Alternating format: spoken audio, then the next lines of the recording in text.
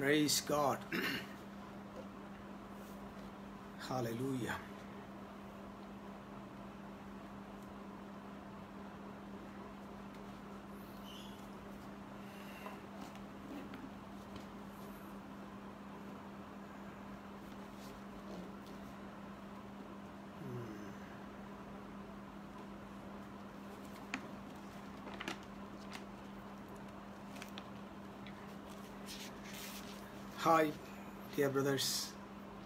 Thank you for watching. ആം, ഇന്ന് ഞാൻ വളരെ പ്രത്യേകതയുള്ളൊരു ചിന്ത പങ്കുവയ്ക്കാനാണ് ഒരുമിച്ച് വന്നിരിക്കുന്നത്. ലൈവിൽ എന്നെ വാച്ച് ചെയ്യുന്ന എല്ലാവരോടുള്ള പ്രത്യേക സ്നേഹം വന്ദനം ഞാൻ അറിയിക്കുന്നു. സർവശക്തിയുള്ള ദൈവം നമ്മെ എവരെയും അതി ധാരാളമായിട്ട് അനുഗ്രഹിക്കട്ടെന്ന് പ്രാർത്ഥിക്കുന്നു. നമ്മളിന്ന് കാണുന്ന ഈ ലോകത്ത് വലിയ പ്രതിസന്ധികൾ നിറഞ്ഞൊരു ലോകമാണ്. പ്രധാനമായിട്ട് നെഗറ്റീവ് മെസ്സേജുകൾക്ക് എക്സാജറേറ്റഡ് മെസ്സേജുകൾക്ക് വലിയ പ്രാധാന്യമുള്ള ഒരു സമയത്താണ് നമ്മൾ ജീവിക്കുന്നത്. ഒരു ചെറിയ കാര്യത്തെ ബലൂണ് ഊതി വീർപ്പിക്കുന്നത് പോലെ വീർപ്പിച്ച് വലിയ വലിയതാക്കി ഭയമുളവാക്കുന്ന നിലയിൽ എക്സാജറേറ്റ് ചെയ്ത് കാണിക്കാൻ ശ്രമിക്കാറുണ്ട്. അപ്പോൾ അങ്ങനെ എക്സാജറേറ്റ് ചെയ്ത് കാണിക്കുന്ന മെസ്സേജുകൾക്ക് വീഡിയോകൾക്ക് വലിയ പ്രാധാന്യവും വലിയ ഒരു ആ, വൈറലായിക്കൊണ്ടിരിക്കുന്ന ഒരു കാലത്ത് ക്രിസ്തീയ സഭയും അതേ മെതേഡുകളാണ് പിന്തുടരുന്നത് എന്ന ഒരു യാഥാർത്ഥ്യത്തെ നിങ്ങളുടെ മുമ്പിൽ കൊണ്ടുവന്നിട്ട് ചില കാര്യങ്ങൾ വസ്തുതാപരമായ കാര്യങ്ങൾ തുറന്നു പറയാനായിട്ടാണ് ഞാൻ കർത്താവിൽ ആഗ്രഹിക്കുന്നത്.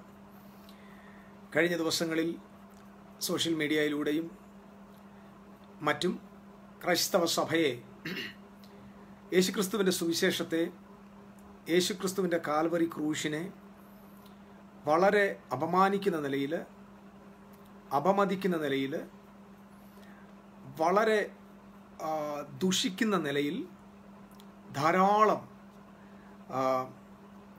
മെസ്സേജുകൾ ഇങ്ങനെ പുറത്തു വന്നുകൊണ്ടിരിക്കുക. അത് അന്ത്യകാല സംഭവങ്ങളുമായിട്ട് ചേർന്നാണ് നമ്മൾ കാണുന്നത്. അതായത് എന്റൈം എസ്കറ്റോളജിയുമായിട്ട് ബന്ധപ്പെട്ട കാര്യങ്ങളാണ്.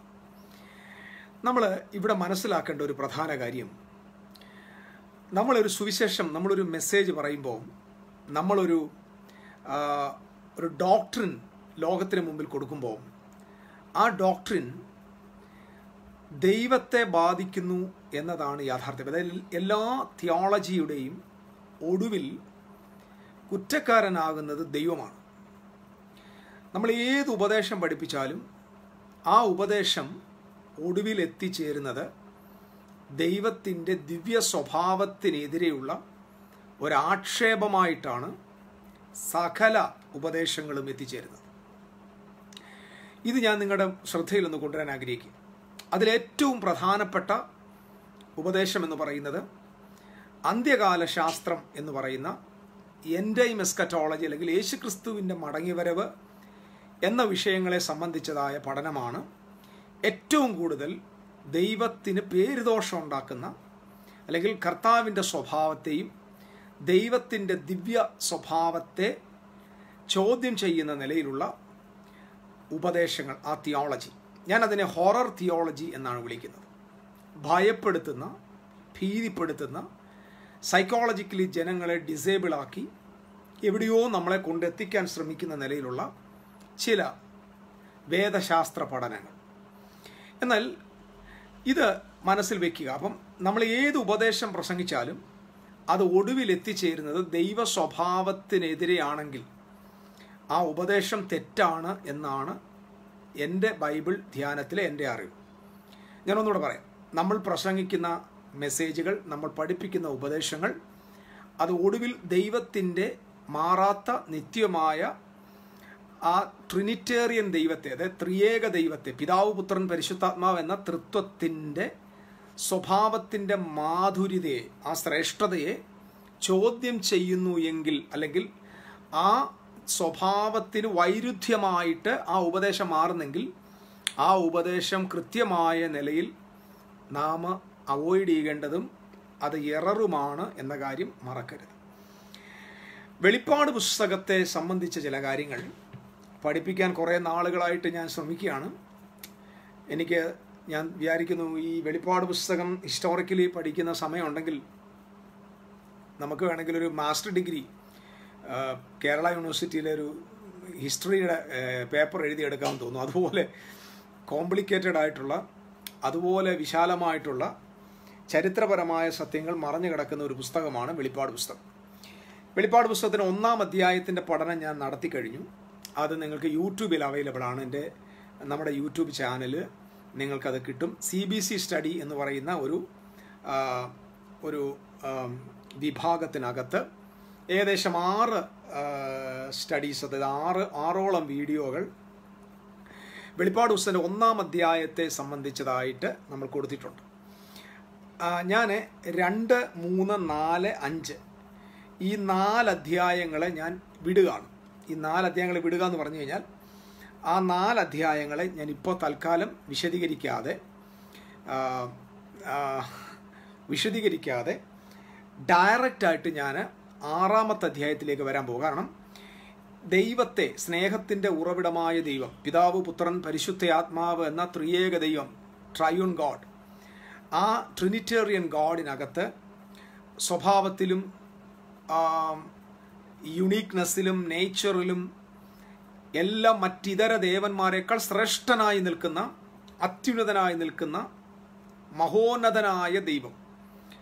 അവൻ പറഞ്ഞ വാക്കുകൾക്ക് മാറ്റമില്ല അവന്റെ സ്വഭാവങ്ങൾക്ക് മാറ്റമില്ല അവന്റെ പദ്ധതികൾക്ക് മാറ്റമില്ല അങ്ങനെ മാറാത്ത ദൈവം.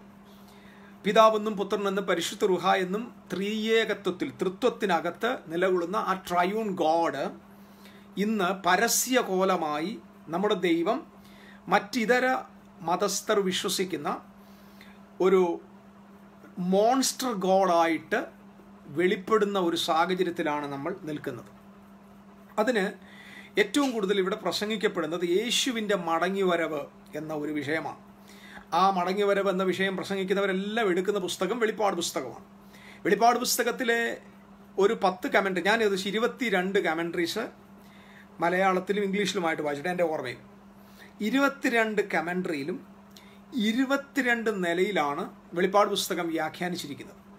കൃത്യമായ നിലയിൽ വസ്തുനിഷ്ഠാപരമായ നിലയിൽ ആരും ഇതിനെ കാണുന്നില്ല എന്നത് ഒരു പരമ യാഥാർത്ഥ്യമാണ്. ഞാൻ വേദപുസ്തകത്തെ ഇങ്ങനെയും വ്യാഖ്യാനിക്കാം എന്ന് മനസ്സിലായത് വെളിപ്പാട് പുസ്തകം വായിച്ച് വെളിപ്പാട് പുസ്തക വ്യാഖ്യാനം കണ്ടപ്പോഴാണ് നമ്മൾ ചില വാക്യങ്ങൾക്ക് ഭയങ്കര അമിത പ്രാധാന്യം നമ്മൾ കൊടുക്കുന്ന കണ്ടിട്ടുണ്ട് അതിലൊരു ഉദാഹരണം പറയാം. ഞാനത് അതിന് അനുകൂലമല്ല. നമ്മൾ അപ്പോസ്തല പ്രവൃത്തിയിൽ യേശു ക്രിസ്തുവിന്റെ നാമത്തിൽ സ്നാനമേൽപ്പിച്ചു എന്ന് അപ്പോസ്തലന്മാർ ആ പുസ്തകത്തിൽ എഴുതിയിട്ടുണ്ട്. അത് ഉപദേശ പുസ്തകമല്ലാത്തതുകൊണ്ട് നമുക്ക് അങ്ങനെ ഉപദേശമായിട്ട് എടുക്കാൻ പറ്റില്ല. അതൊരു യാഥാർത്ഥ്യമാണ്. പക്ഷേ നമ്മൾ മത്തായുടെ സുവിശേഷത്തിൽ ഒരു ഭാഗത്ത് മാത്രം യേശു വ്യക്തമായിട്ട് പറഞ്ഞു പിതാവിന്റെയും പുത്രന്റെയും പരിശുദ്ധാത്മാവിന്റെയും നാമത്തിൽ സ്നാനം കഴിപ്പിക്കണം. ഈ ഒരു വാക്യം നമ്മൾ ആ വാക്യത്തെ പിടിച്ചുകൊണ്ടാണ് അതിന് വിരുദ്ധമായിട്ട് വരുന്ന എല്ലാ ഉപദേശങ്ങളെയും നമ്മൾ വെട്ടുന്നത്. നമ്മൾ അക്ഷരങ്ങളിലും വള്ളി പുള്ളി തുടങ്ങിയ കാര്യങ്ങളിൽ സൂക്ഷ്മമായിട്ട് പഠിക്കുന്ന ആളുകളാണ്.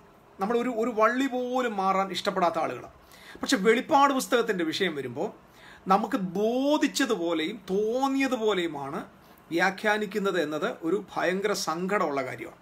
അതിന്റെ കാരണം ഒന്ന് അതിന്റെ ഒന്നാമത്തെ രണ്ടാമത്തെ വാക്യം തന്നെ കർത്താവായ യേശു ക്രിസ്തുവിന്റെ വെളിപ്പാട് എന്ന് പറഞ്ഞിട്ട് പറയുന്നു. വേഗത്തിൽ സംഭവിപ്പാനുള്ളത്. വേഗത്തിൽ ഇതൊക്കെ നിങ്ങൾ ശ്രദ്ധിക്കണം. വേഗത്തിൽ അതിന് ഗ്രീക്ക് ആയാലും ഹീബ്രു ആയാലും അറാമിക് ആയാലും ഇനി ലാറ്റിൻ ആയാലും സിറിയൻ സിറിയക് ലാംഗ്വേജ് ആണെങ്കിലും ഏതായിരിക്കും വേഗത്തിൽ സംഭവിപ്പാനുള്ളത് തന്റെ ദാസന്മാരെ അറിയിക്കേണ്ടതിന് എന്ന് പറഞ്ഞു തുടങ്ങുന്ന ആ വാക്യം ഇന്നു വരെ ആ ഇരുപത്തിരണ്ട് കമൻട്രിക്കകത്ത് ഒരാൾ പോലും സത്യസന്ധമായ നിലയിൽ വ്യാഖ്യാനിക്കുന്നത് ഞാൻ കണ്ടിട്ടില്ല. അവരതിനെ എന്തെല്ലോ നിലയിലാണെന്നറിയാമോ ഇങ്ങനെ പൊതിഞ്ഞ് പൊതിഞ്ഞ് പൊതിഞ്ഞ് അതിനെ തിരിച്ച് മറിച്ച് ട്വിസ്റ്റ് ചെയ്ത്. വെളിപ്പാട് പുസ്തകത്തിൽ തന്നെ ഏഴ് പ്രാവശ്യത്തിൽ ഇതാ ഞാൻ വേഗം വരുന്നു വേഗം വരുന്നു വേഗം വരുന്നു എന്ന് ഏഴ് പ്രാവശ്യം എഴുതി വെച്ചിരിക്കുക. ഇതിനൊക്കെ നമ്മൾ കൊടുക്കുന്ന അർത്ഥം ആ വേഗം എന്ന വാക്കിന്റെ അർത്ഥം അത് പെട്ടെന്ന് വരുന്നതല്ല. അത് സംഭവിക്കാൻ തുടങ്ങുമ്പോൾ അങ്ങ് പെട്ടെന്നായിക്കോളും എന്നൊക്കെ പറഞ്ഞുകൊണ്ട് ആകെ പ്രശ്നമാണ്. കൃത്യമായിട്ട് വ്യാഖ്യാനിക്കുന്നില്ല. ഇതിനകത്ത് ഭയങ്കര കബളിപ്പീരുകളാണ് ആളുകൾ ശക്തമായ നിലയിൽ ചെയ്തുകൊണ്ടിരിക്കുന്നത്. അപ്പം ഇവിടെ ഇതിനകത്ത് വളരെ തട്ടിപ്പ് അതായത് വളരെ വളരെ സിസ്റ്റമാറ്റിക്കായിട്ട് ജനത്തെ കബളിപ്പിക്കുന്ന ഒരു ഭയങ്കര നിലപാടുണ്ട്. കാരണം ഞാൻ ഇങ്ങനൊരു നിലപാടിൽ വരാനൊരു കാരണമുണ്ട്. പല വാക്യങ്ങൾക്ക് കൃത്യമായ നിലയിൽ ആൻസർ ആരും ഇതുവരെ തരുന്നില്ല. ഒന്ന് ഇതിപ്പോൾ ഇതിനകത്ത് കാണുന്ന ആളുകൾക്കും നന്നായിട്ട് അതിന് മറുപടി തരാൻ പറ്റുമെങ്കിൽ നിങ്ങളെ ഞാൻ സ്വാഗതം ചെയ്യുക കർത്താവ് യേശു പറഞ്ഞൊരു വാചകം. യേശുനാഥൻ പറയുകയാണ് പിതാ പിതാവിന്റെ രാജ്യത്തിൽ അതായത് പുത്രൻ അത് യേശു ക്രിസ്തു തന്നെക്കുറിച്ച് പറയുക പിതാവിന്റെ തേജസ്സോടെ ദൈവത്തിന്റെ രാജ്യത്തിൽ വരുന്നത് കാണുവോളം മരണം ആസ്വദിക്കാത്തവർ ഈ നിൽക്കുന്നവരിലുണ്ടെന്നൊരു വാക്യമുണ്ട്. ആ വാക്യം നിങ്ങൾ ശ്രദ്ധിച്ച് നോക്കിയേ. ആ വാക്യത്തെ ഇവിടുത്തെ pre trib post trib pre millennium post millennium a millennium a millennium എല്ലാ ആളുകളോട് ചോദിച്ചു നോക്ക്. ആ വാക്കിന്റെ അർത്ഥം അവരെന്തോ പറയും? അത് ഭാവിയിൽ വരാൻ പോകുന്ന സംഭവമാണ്. നല്ലത് ഇന്നു വരെ ആരും പച്ചയ്ക്ക് ആ വേർഡ് ഓഫ് ഗോഡ് എന്താണെന്ന് പറഞ്ഞു തരത്തില്ല. പറഞ്ഞു തരാതെ മറിച്ച് നമ്മളെ കൊണ്ട് ഇനി അത് ആയിരം രണ്ടായിരം വർഷത്തിൽ യേശു വരുമ്പോൾ തന്നെ ചിലർ ആത്മമരണം സംഭവിക്കാതിരിക്കുന്നു എന്ന് പറഞ്ഞതിനെ തട്ടി മാറ്റികൾ അങ്ങനെ ഒത്തിരി ഒത്തിരി വാക്യങ്ങൾ ഇനിയുണ്ട്. അതുപോലെ തന്നെ യേശു പറഞ്ഞിട്ട് മനുഷ്യപുത്രൻ വരുവോളം നിങ്ങൾ ഇസ്രായേലിന്റെ പട്ടണങ്ങളെ ചുറ്റി തീരുകയില്ല. അങ്ങനെ ഒരു വാക്യമുണ്ട്. നിങ്ങൾ ഈ ആളുകളോട് ചോദിച്ചു നോക്കുക എന്താ അതിന്റെ അർത്ഥം എന്ന് ചോദിച്ചാൽ അത് അതിനെ അന്നേരം ട്വിസ്റ്റ് ചെയ്യും. അന്നേരം അതിനെ ട്വിസ്റ്റ് ചെയ്ത് അതിന്റെ ഹീബ്രു അങ്ങനല്ല ഗ്രീക്ക് അങ്ങനല്ല അതിന്റെ ഗ്രാമർ അങ്ങനല്ല എന്നൊക്കെ പറഞ്ഞ് അവർക്ക് ഇഷ്ടത്തിന് അതിനെ ഒളിച്ചുകൊണ്ട് പോകും. കാരണം നമുക്ക് ഒരു ഉപദേശത്തെ സ്ഥാപിക്കാൻ വേണ്ടി നമ്മൾ എന്തൊക്കെ പരിപാടി കാണിക്കുമോ അതെല്ലാം കാണിക്കുന്ന ഒരു പുസ്തകമാണ് വെളിപ്പാട് പുസ്തകവും അന്ത്യകാല ശാസ്ത്രവും. ഇന്ന് പ്രസംഗിക്കപ്പെടുന്ന അന്ത്യകാല ശാസ്ത്രം ഹൺഡ്രഡ് പേഴ്സന്റേജ് ഫൂളിഷ്നെസ് ആണെന്നാണ് ഞാൻ വേദപുസ്തകം പഠിച്ച എന്റെ അറിവിൽ ഞാൻ തുറന്നു പറയുക. പച്ചക്കങ്ങ് പറയുന്നേ ഉള്ളൂ. വെറും ഫൂളിഷ്നെസ്സും സുവിശേഷത്തിന്റെ മെസ്സേജിന്റെ കടയ്ക്കൽ കത്തിവെക്കുന്നതുമാണ് സ്നേഹനിധിയായ ഒരു ദൈവം കാൽവറിയിൽ തന്റെ പുത്രനിലൂടെ സ്ഥാപിച്ചെടുത്ത മഹാരക്ഷയെ സർവലോകത്തിന്റെയും വീണ്ടെടുപ്പിനെ സർവലോകത്തിന്റെയും അറ്റോൺമെന്റിനെ പ്രസംഗിക്കുന്ന നാം ഒടുവിൽ കൊണ്ടുവന്നിട്ട് നിത്യമായിട്ട് കത്തിക്കുന്ന കൊല്ലുന്ന ഒരു ഭയങ്കര വിരൂപിയായിട്ട് ദൈവത്തെ കൺ കാണിക്കുന്ന ഒരു ഒരു തികച്ചും ഉത്തരവാദിത്വമില്ലാത്ത നിലയിലുള്ള ഒരു സന്ദേശമാണ് എസ്കറ്റോളജി. യേശു വരാൻ പോവുകയാണ്. ഇപ്പോൾ കൊറോണ എന്നൊരു സാധനം കൊണ്ടങ്ങ് ഇറങ്ങിയേക്കുക ആളുകൾ കൊറോണ വരുന്നു അത് വരുന്നു. ഇനിയും യേശു വരാൻ പോവാണ്. യേശു വരുന്നതിന്റെ തെളിവാണെന്ന് പോലും ഈ കൊറോണ. ഒരു ഒരു ബലാത്സംഗ കേസ് കണ്ടാൽ പറയും യേശു വരാറായെന്ന് ഒരു കൊലപാതകം കണ്ടാൽ പറയും യേശു വരാറായെന്ന് ഒരു സാമ്പത്തിക തകർച്ച കണ്ടാൽ പറയും യേശു വരാം. എന്തെല്ലാം തിന്മകൾ ഈ ഭൂമിയിൽ സംഭവിക്കുമോ? തിന്മകളെല്ലാം കാണുമ്പോൾ നമ്മൾ ലോകത്തോട് വിളിച്ചു പറയുകയാണ് യേശു വരാൻ പോകുന്നു. എന്റെ പ്രിയപ്പെട്ടവരെ ഈ ലോകത്തിലെ തിന്മയാണോ ഈ മഹാനായ ദൈവത്തിന്റെ പുത്രനെ എതിരേൽക്കാൻ വേണ്ടിയുള്ള എതിരേൽക്കാൻ വേണ്ടിയുള്ളത്? അപ്പോൾ യേശു ക്രിസ്തുവിനെ എതിരേൽക്കാൻ ഈ ലോകത്തിൽ കുറേ കൊറോണ പിടിച്ച രോഗികളും കുറേ കൊലപാതകം ചെയ്തവരും കുറേ തീവ്രവാദികളും ഒക്കെ ആണോ തമ്പുരാന്റെ എതിരേൽക്കാൻ വേണ്ടി നിൽക്കുന്നത്? ഉത്തരവാദിത്വമില്ലാത്ത ക്രിസ്തീയ ശുശ്രൂഷകന്മാർ സുവിശേഷത്തിനെതിരെ സംസാരിക്കുകയാണ്. സുവിശേഷ വിരോധമാണ്. നീ പറയുമ്പോൾ നിങ്ങൾ എന്റെ എന്നെക്കിട്ട് മാന്തിട്ട് കാര്യമൊന്നുമില്ല. ഞാൻ തുറന്നു പറയുക. കാരണം പ്രസംഗിക്കുന്ന മെസ്സേജ് സുവിശേഷം. എന്താ സുവിശേഷം? ആ സുവിശേഷം കൊണ്ട് എത്തിക്കുന്ന എവിടെ? കർത്താവ് വരാൻ പോവുകയാണ്. അതിന് ഇപ്പം ഓരോരുത്തരങ്ങ് ഭയങ്കരമായിട്ട് അങ്ങ് ഇറങ്ങിയേക്കുക അതിനെല്ലാം എടുക്കുന്ന പുസ്തകം വെളിപ്പാട് പുസ്തകവുമാണ്. വെളിപ്പാട് പുസ്തകം നമ്മൾ പഠിക്കുമ്പോൾ ഞാൻ അതിനെക്കുറിച്ച് ഒത്തിരി ഇൻട്രഡക്ഷൻ പറയാൻ എനിക്ക് സമയമില്ല. ഞാൻ ഇന്ന് പ്രധാനപ്പെട്ട ഒരു പോയിന്റ് നിങ്ങളെ മുമ്പിൽ പറയാനും വിശദീകരിക്കുവാനാണ് നിൽക്കുന്നത്. കാരണം ഈ വെളിപ്പാട് ദിവസം തുടങ്ങുന്നത് തന്നെ വേഗത്തിൽ സംഭവിക്കാൻ പോകുന്ന കാര്യമാണ്. അത് തീരുമ്പോൾ നമ്മൾ കാണുന്നുണ്ട്. ഇത് നീ മുദ്ര ഇടരുതെന്ന. ഇത് നിങ്ങൾ വളരെ ശ്രദ്ധിക്കണം. ഞാനിത് മുമ്പുള്ള വീഡിയോയിലും പറഞ്ഞിട്ടുണ്ട്. ദാനിയലിന്റെ പ്രവചനം എഴുതിയപ്പോൾ ദാനിയൽ പ്രവാചകനോട് പറയുന്നുണ്ട് ഇത് ബഹുകാലത്തേക്ക് സംഭവിക്കാൻ ബഹുകാലത്തിനു ശേഷം സംഭവിക്കാനുള്ളതാകുകൊണ്ട് ഈ പുസ്തകത്തിലെ പ്രവചനങ്ങളെ മുദ്രയിടണം. നിങ്ങൾ ദാനിയലിന്റെ പ്രവചനം വായിക്കുമ്പോൾ ഈ കാര്യം വ്യക്തമാണ് അതായത് ബഹുകാലത്തിന് ശേഷം സംഭവിപ്പാനുള്ളത് കൊണ്ട് അവിടെ ഇസ്രായേലിന് സംഭവിക്കുവാനുള്ള ഇസ്രായേലിന് സംഭവിക്കുവാനുള്ള ഏഴാഴ്ചവട്ട കാലം. അത് കർത്താവായ യേശു ക്രിസ്തുവിന്റെ ഭൂമിയിലെ അവതാരത്തോടൊത്ത് അവസാനിക്കുന്ന ഏഴാഴ്ചവട്ട കാലം. അപ്പം യേശു ക്രിസ്തുവിന്റെ കാലത്തിൽ തീരണ്ട പ്രവചനങ്ങൾ ആ പ്രവചനം അല്ലെങ്കിൽ ആ കാലഘട്ടത്തോടുള്ള ബന്ധത്തിൽ തീരേണ്ട പ്രവചനമാണ് ഈ പ്രവചനം ദൈവത്തിന്റെ ദാസനായ ദാനിയലിന് ദൈവം കൊടുത്തിട്ട് പറയാം നീ ഇത് മുദ്രയിടണം.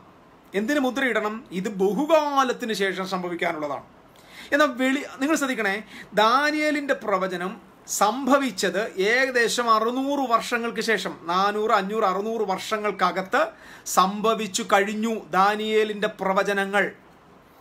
അപ്പൊ അറുന്നൂറ് വർഷത്തിന് ശേഷം സംഭവിക്കേണ്ട കാര്യത്തെ എഴുതുവാൻ പറഞ്ഞപ്പോൾ ദൈവം പറയുകയാണ് നീ അതിന് മുദ്രയിടണം.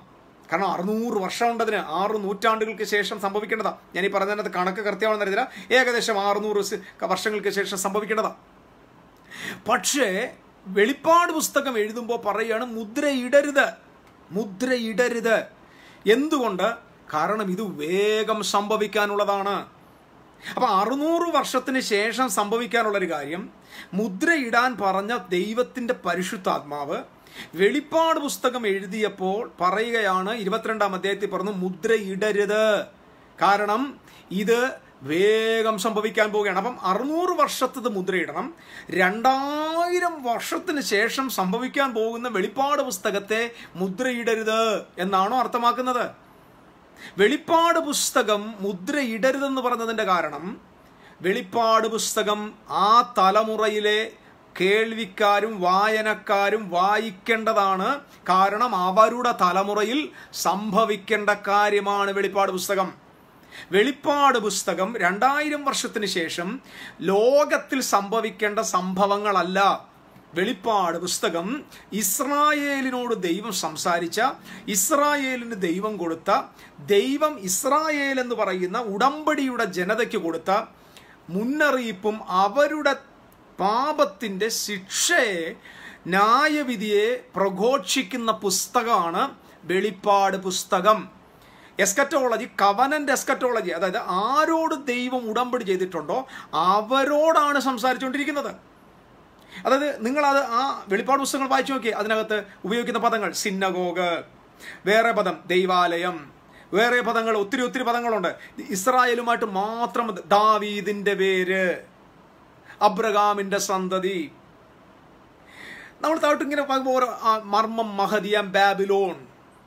യേശു ക്രിസ്തുവിനെ ക്രൂശിച്ച നഗരമായ വിശുദ്ധ നഗരം. ഇങ്ങനെയുള്ള ഒത്തിരി ഒത്തിരി കാര്യങ്ങൾ കൊടുത്തിട്ടുണ്ട്. അപ്പം വെളിപ്പാട് പുസ്തകം കൃത്യമായിട്ട് ദൈവം ഉടമ്പടി ചെയ്ത ഇസ്രായേൽ ജനതയ്ക്ക് അവരുടെ മേൽ വരാൻ പോകുന്ന വിനാശത്തിന് കൊടുത്ത ദൈവത്തിന്റെ പ്രൊഫറ്റിക് വേർഡാണ് ഈ വെളിപ്പാട് പുസ്തകം എന്ന് പറയുന്നത്.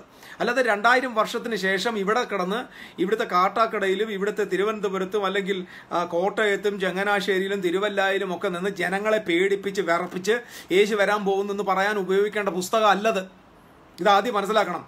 നിങ്ങൾ വല്ലോരുടെയും സാധനം എടുത്ത് നിങ്ങൾ നിങ്ങളുടെ വീട്ടിൽ കൊണ്ടുവന്ന് വെക്കരുത്. നമുക്ക് ആവശ്യമുള്ളത് വേദപുസ്തകം എടുക്കണം. അതിനുള്ള ബുദ്ധിയാണ് ആദ്യം വേണ്ടത്. നമ്മൾ ഈ വേദപുസ്തകം കാണുമ്പോൾ ഉടനെ അടിമകളാവരുത്. നമ്മൾ ഈ അടിമകളാണ് വേദപുസ്തകത്തിന്റെ അടിമകളല്ല ദൈവമക്കൾ.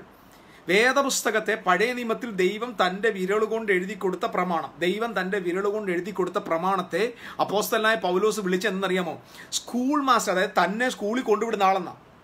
സ്കൂൾ മാസ്റ്റർ എന്നാണ് പറയുന്നത്. അല്ലെങ്കിൽ വേറൊരർത്ഥത്തിൽ പറഞ്ഞാൽ തന്നെ ഒരു അധ്യാപകന്റെ അടുക്കലേക്ക് നയിക്കുന്ന ആളെന്നാണ് ഈ ദൈവ അല്ലെങ്കിൽ ബാല്യക്കാരൻ അല്ലെങ്കിൽ വേലക്കാരൻ എന്നാണ് ന്യായപ്രമാണം. ദൈവം തന്റെ വിരലുകൊണ്ട് എഴുതി കൊടുത്ത പ്രമാണത്തിന് അപ്പോസനായ പൗലോസ് വിളിച്ചത്. ന്യായപ്രമാണം എടുത്തിട്ട് ഞാൻ അതിന്റെ അടിമയാണെന്നല്ല പറഞ്ഞത്. അതെന്റെ സെർവന്റാണെന്ന് പറഞ്ഞത്. സോ ദ ബൈബിൾ കയ്യിലെടുക്കുമ്പോൾ ഉടനെ നമ്മളൊരു ദാസരൂപനായി പോവരുത്. നമ്മൾ ബൈബിൾ എടുക്കുമ്പോൾ ഒരു പുത്രനെ പോലെ ആയിരിക്കണം. പുത്രൻ എങ്ങനെയാണ് ബൈബിൾ എടുത്തത്? പുത്രൻ എങ്ങനെയാണ് ബൈബിളിനെ കണ്ടത്? പുത്രൻ എങ്ങനെയാണ് തിരുവെടുത്തുകളെ ശോധന ചെയ്തത്?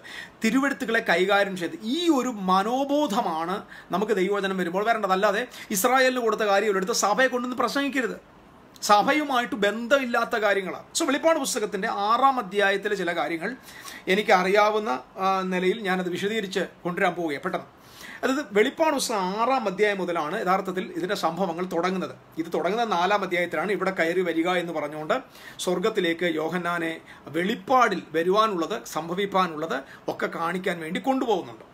സോ അങ്ങനെ കൊണ്ടുപോയ ശേഷം അവിടുത്തെ സിംഹാസനം കാണുന്നുണ്ട് അവിടുത്തെ ആരാധനകൾ കാണുന്നുണ്ട് അവിടെ മൂപ്പന്മാരെ കാണുന്നുണ്ട് നാല് ജീവികളെ കാണുന്നുണ്ട് സ്വച്ഛ സ്ഫടിക തങ്കതുല്യമായ അല്ലെങ്കിൽ എന്തുവാ സ്ഫടികക്കടൽ സ്ഫടിക കടൽ കാണുന്നുണ്ട് മഴവില്ല് കാണുന്നുണ്ട് സോ ത്രോൺ ഓഫ് ഗോഡ് അവിടെ കാണുന്നുണ്ട്.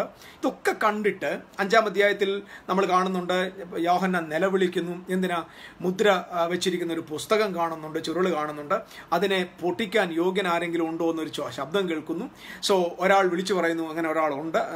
അത് ദാവീദിന്റെ ഗോത്രത്തിലെ സിംഹമായ യഹൂദ ഗോത്രത്തിലെ സിംഹമായ ഒരാൾ ജയം പ്രാപിച്ചിരിക്കുന്നു പറഞ്ഞു. അവനെ വീണ് നമസ്കരിക്കുന്നു. മൂപ്പന്മാരോട് ഇതെല്ലാം നമുക്കറിയാം. അതായത് നാലും അഞ്ചും അധ്യായങ്ങളിൽ ഉള്ള വിശദീകരിക്കാതെ വിടുന്നതിന്റെ കാരണം നമുക്ക് വായിക്കുമ്പോൾ പെട്ടെന്ന് അത് മനസ്സിലാക്കാനുള്ള ധാരാളം കാര്യങ്ങളുണ്ട്. കാരണം ഇതിനകത്ത് പ്രധാനമായിട്ട് ഇത് ഞാൻ ഇന്ന് പറയാൻ പോകുന്ന കാര്യമായിട്ടൊക്കെ ഇതിന് വലിയ കണക്ഷൻ ഉണ്ടെങ്കിലും ഞാൻ ഒത്തിരി സമയം അതിനുവേണ്ടി എടുക്കാത്തതുകൊണ്ടാണ് ഞാൻ മുമ്പോട്ട് പോകുന്നത്. ഇനിയും ആറാം അധ്യായത്തിൽ ഇവിടെ നമ്മൾ നാല് ആറാം അധ്യായത്തിൽ ഏഴ് മുദ്രകളാണ് കാണുന്നത്. ഏഴ് മുദ്രകൾ. അതായത് ഏഴ് ഒരു ഒരു ചുരുൾ ചുരുളിനകത്ത് ഏഴ് മുദ്രകൾ വെച്ചിരിക്കുന്നു. ഈ മുദ്രകൾ പൊട്ടിക്കാനായിട്ട് ഒരു യോഗ്യനായ ഒരാളെ വിളിക്കുകയാണ്.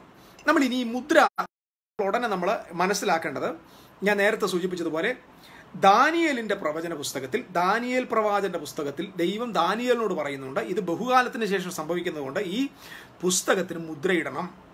മുദ്രയിടണം. അതായത് ബഹുകാലത്തിന് ശേഷം സംഭവിക്കാൻ പോവുകയാണ്. ഈ മുദ്രയിടണം എന്ന് പറഞ്ഞിട്ട് ഇട്ടേക്കുന്ന ആ പ്രൊഫറ്റിക് സ്ക്രോളാണ് വാസ്തവത്തിൽ ഇവിടെ മുദ്ര പൊട്ടിക്കാനായിട്ട് പോകുന്നത്. കാരണം ദാനിയലിലൂടെ ദൈവം പറഞ്ഞത് ജെറമ്യാവിലൂടെ പറഞ്ഞത് സെക്കറിയാവിലൂടെ പറഞ്ഞത് പഴയ നിയമത്തിലെ ഒരുപാട് പ്രവാചകന്മാരിലൂടെ ദൈവം മുൻകൂട്ടി പറഞ്ഞ ഇസ്രായേലിന് വരാൻ പോകുന്ന വിനാശത്തിന്റെ കഥ.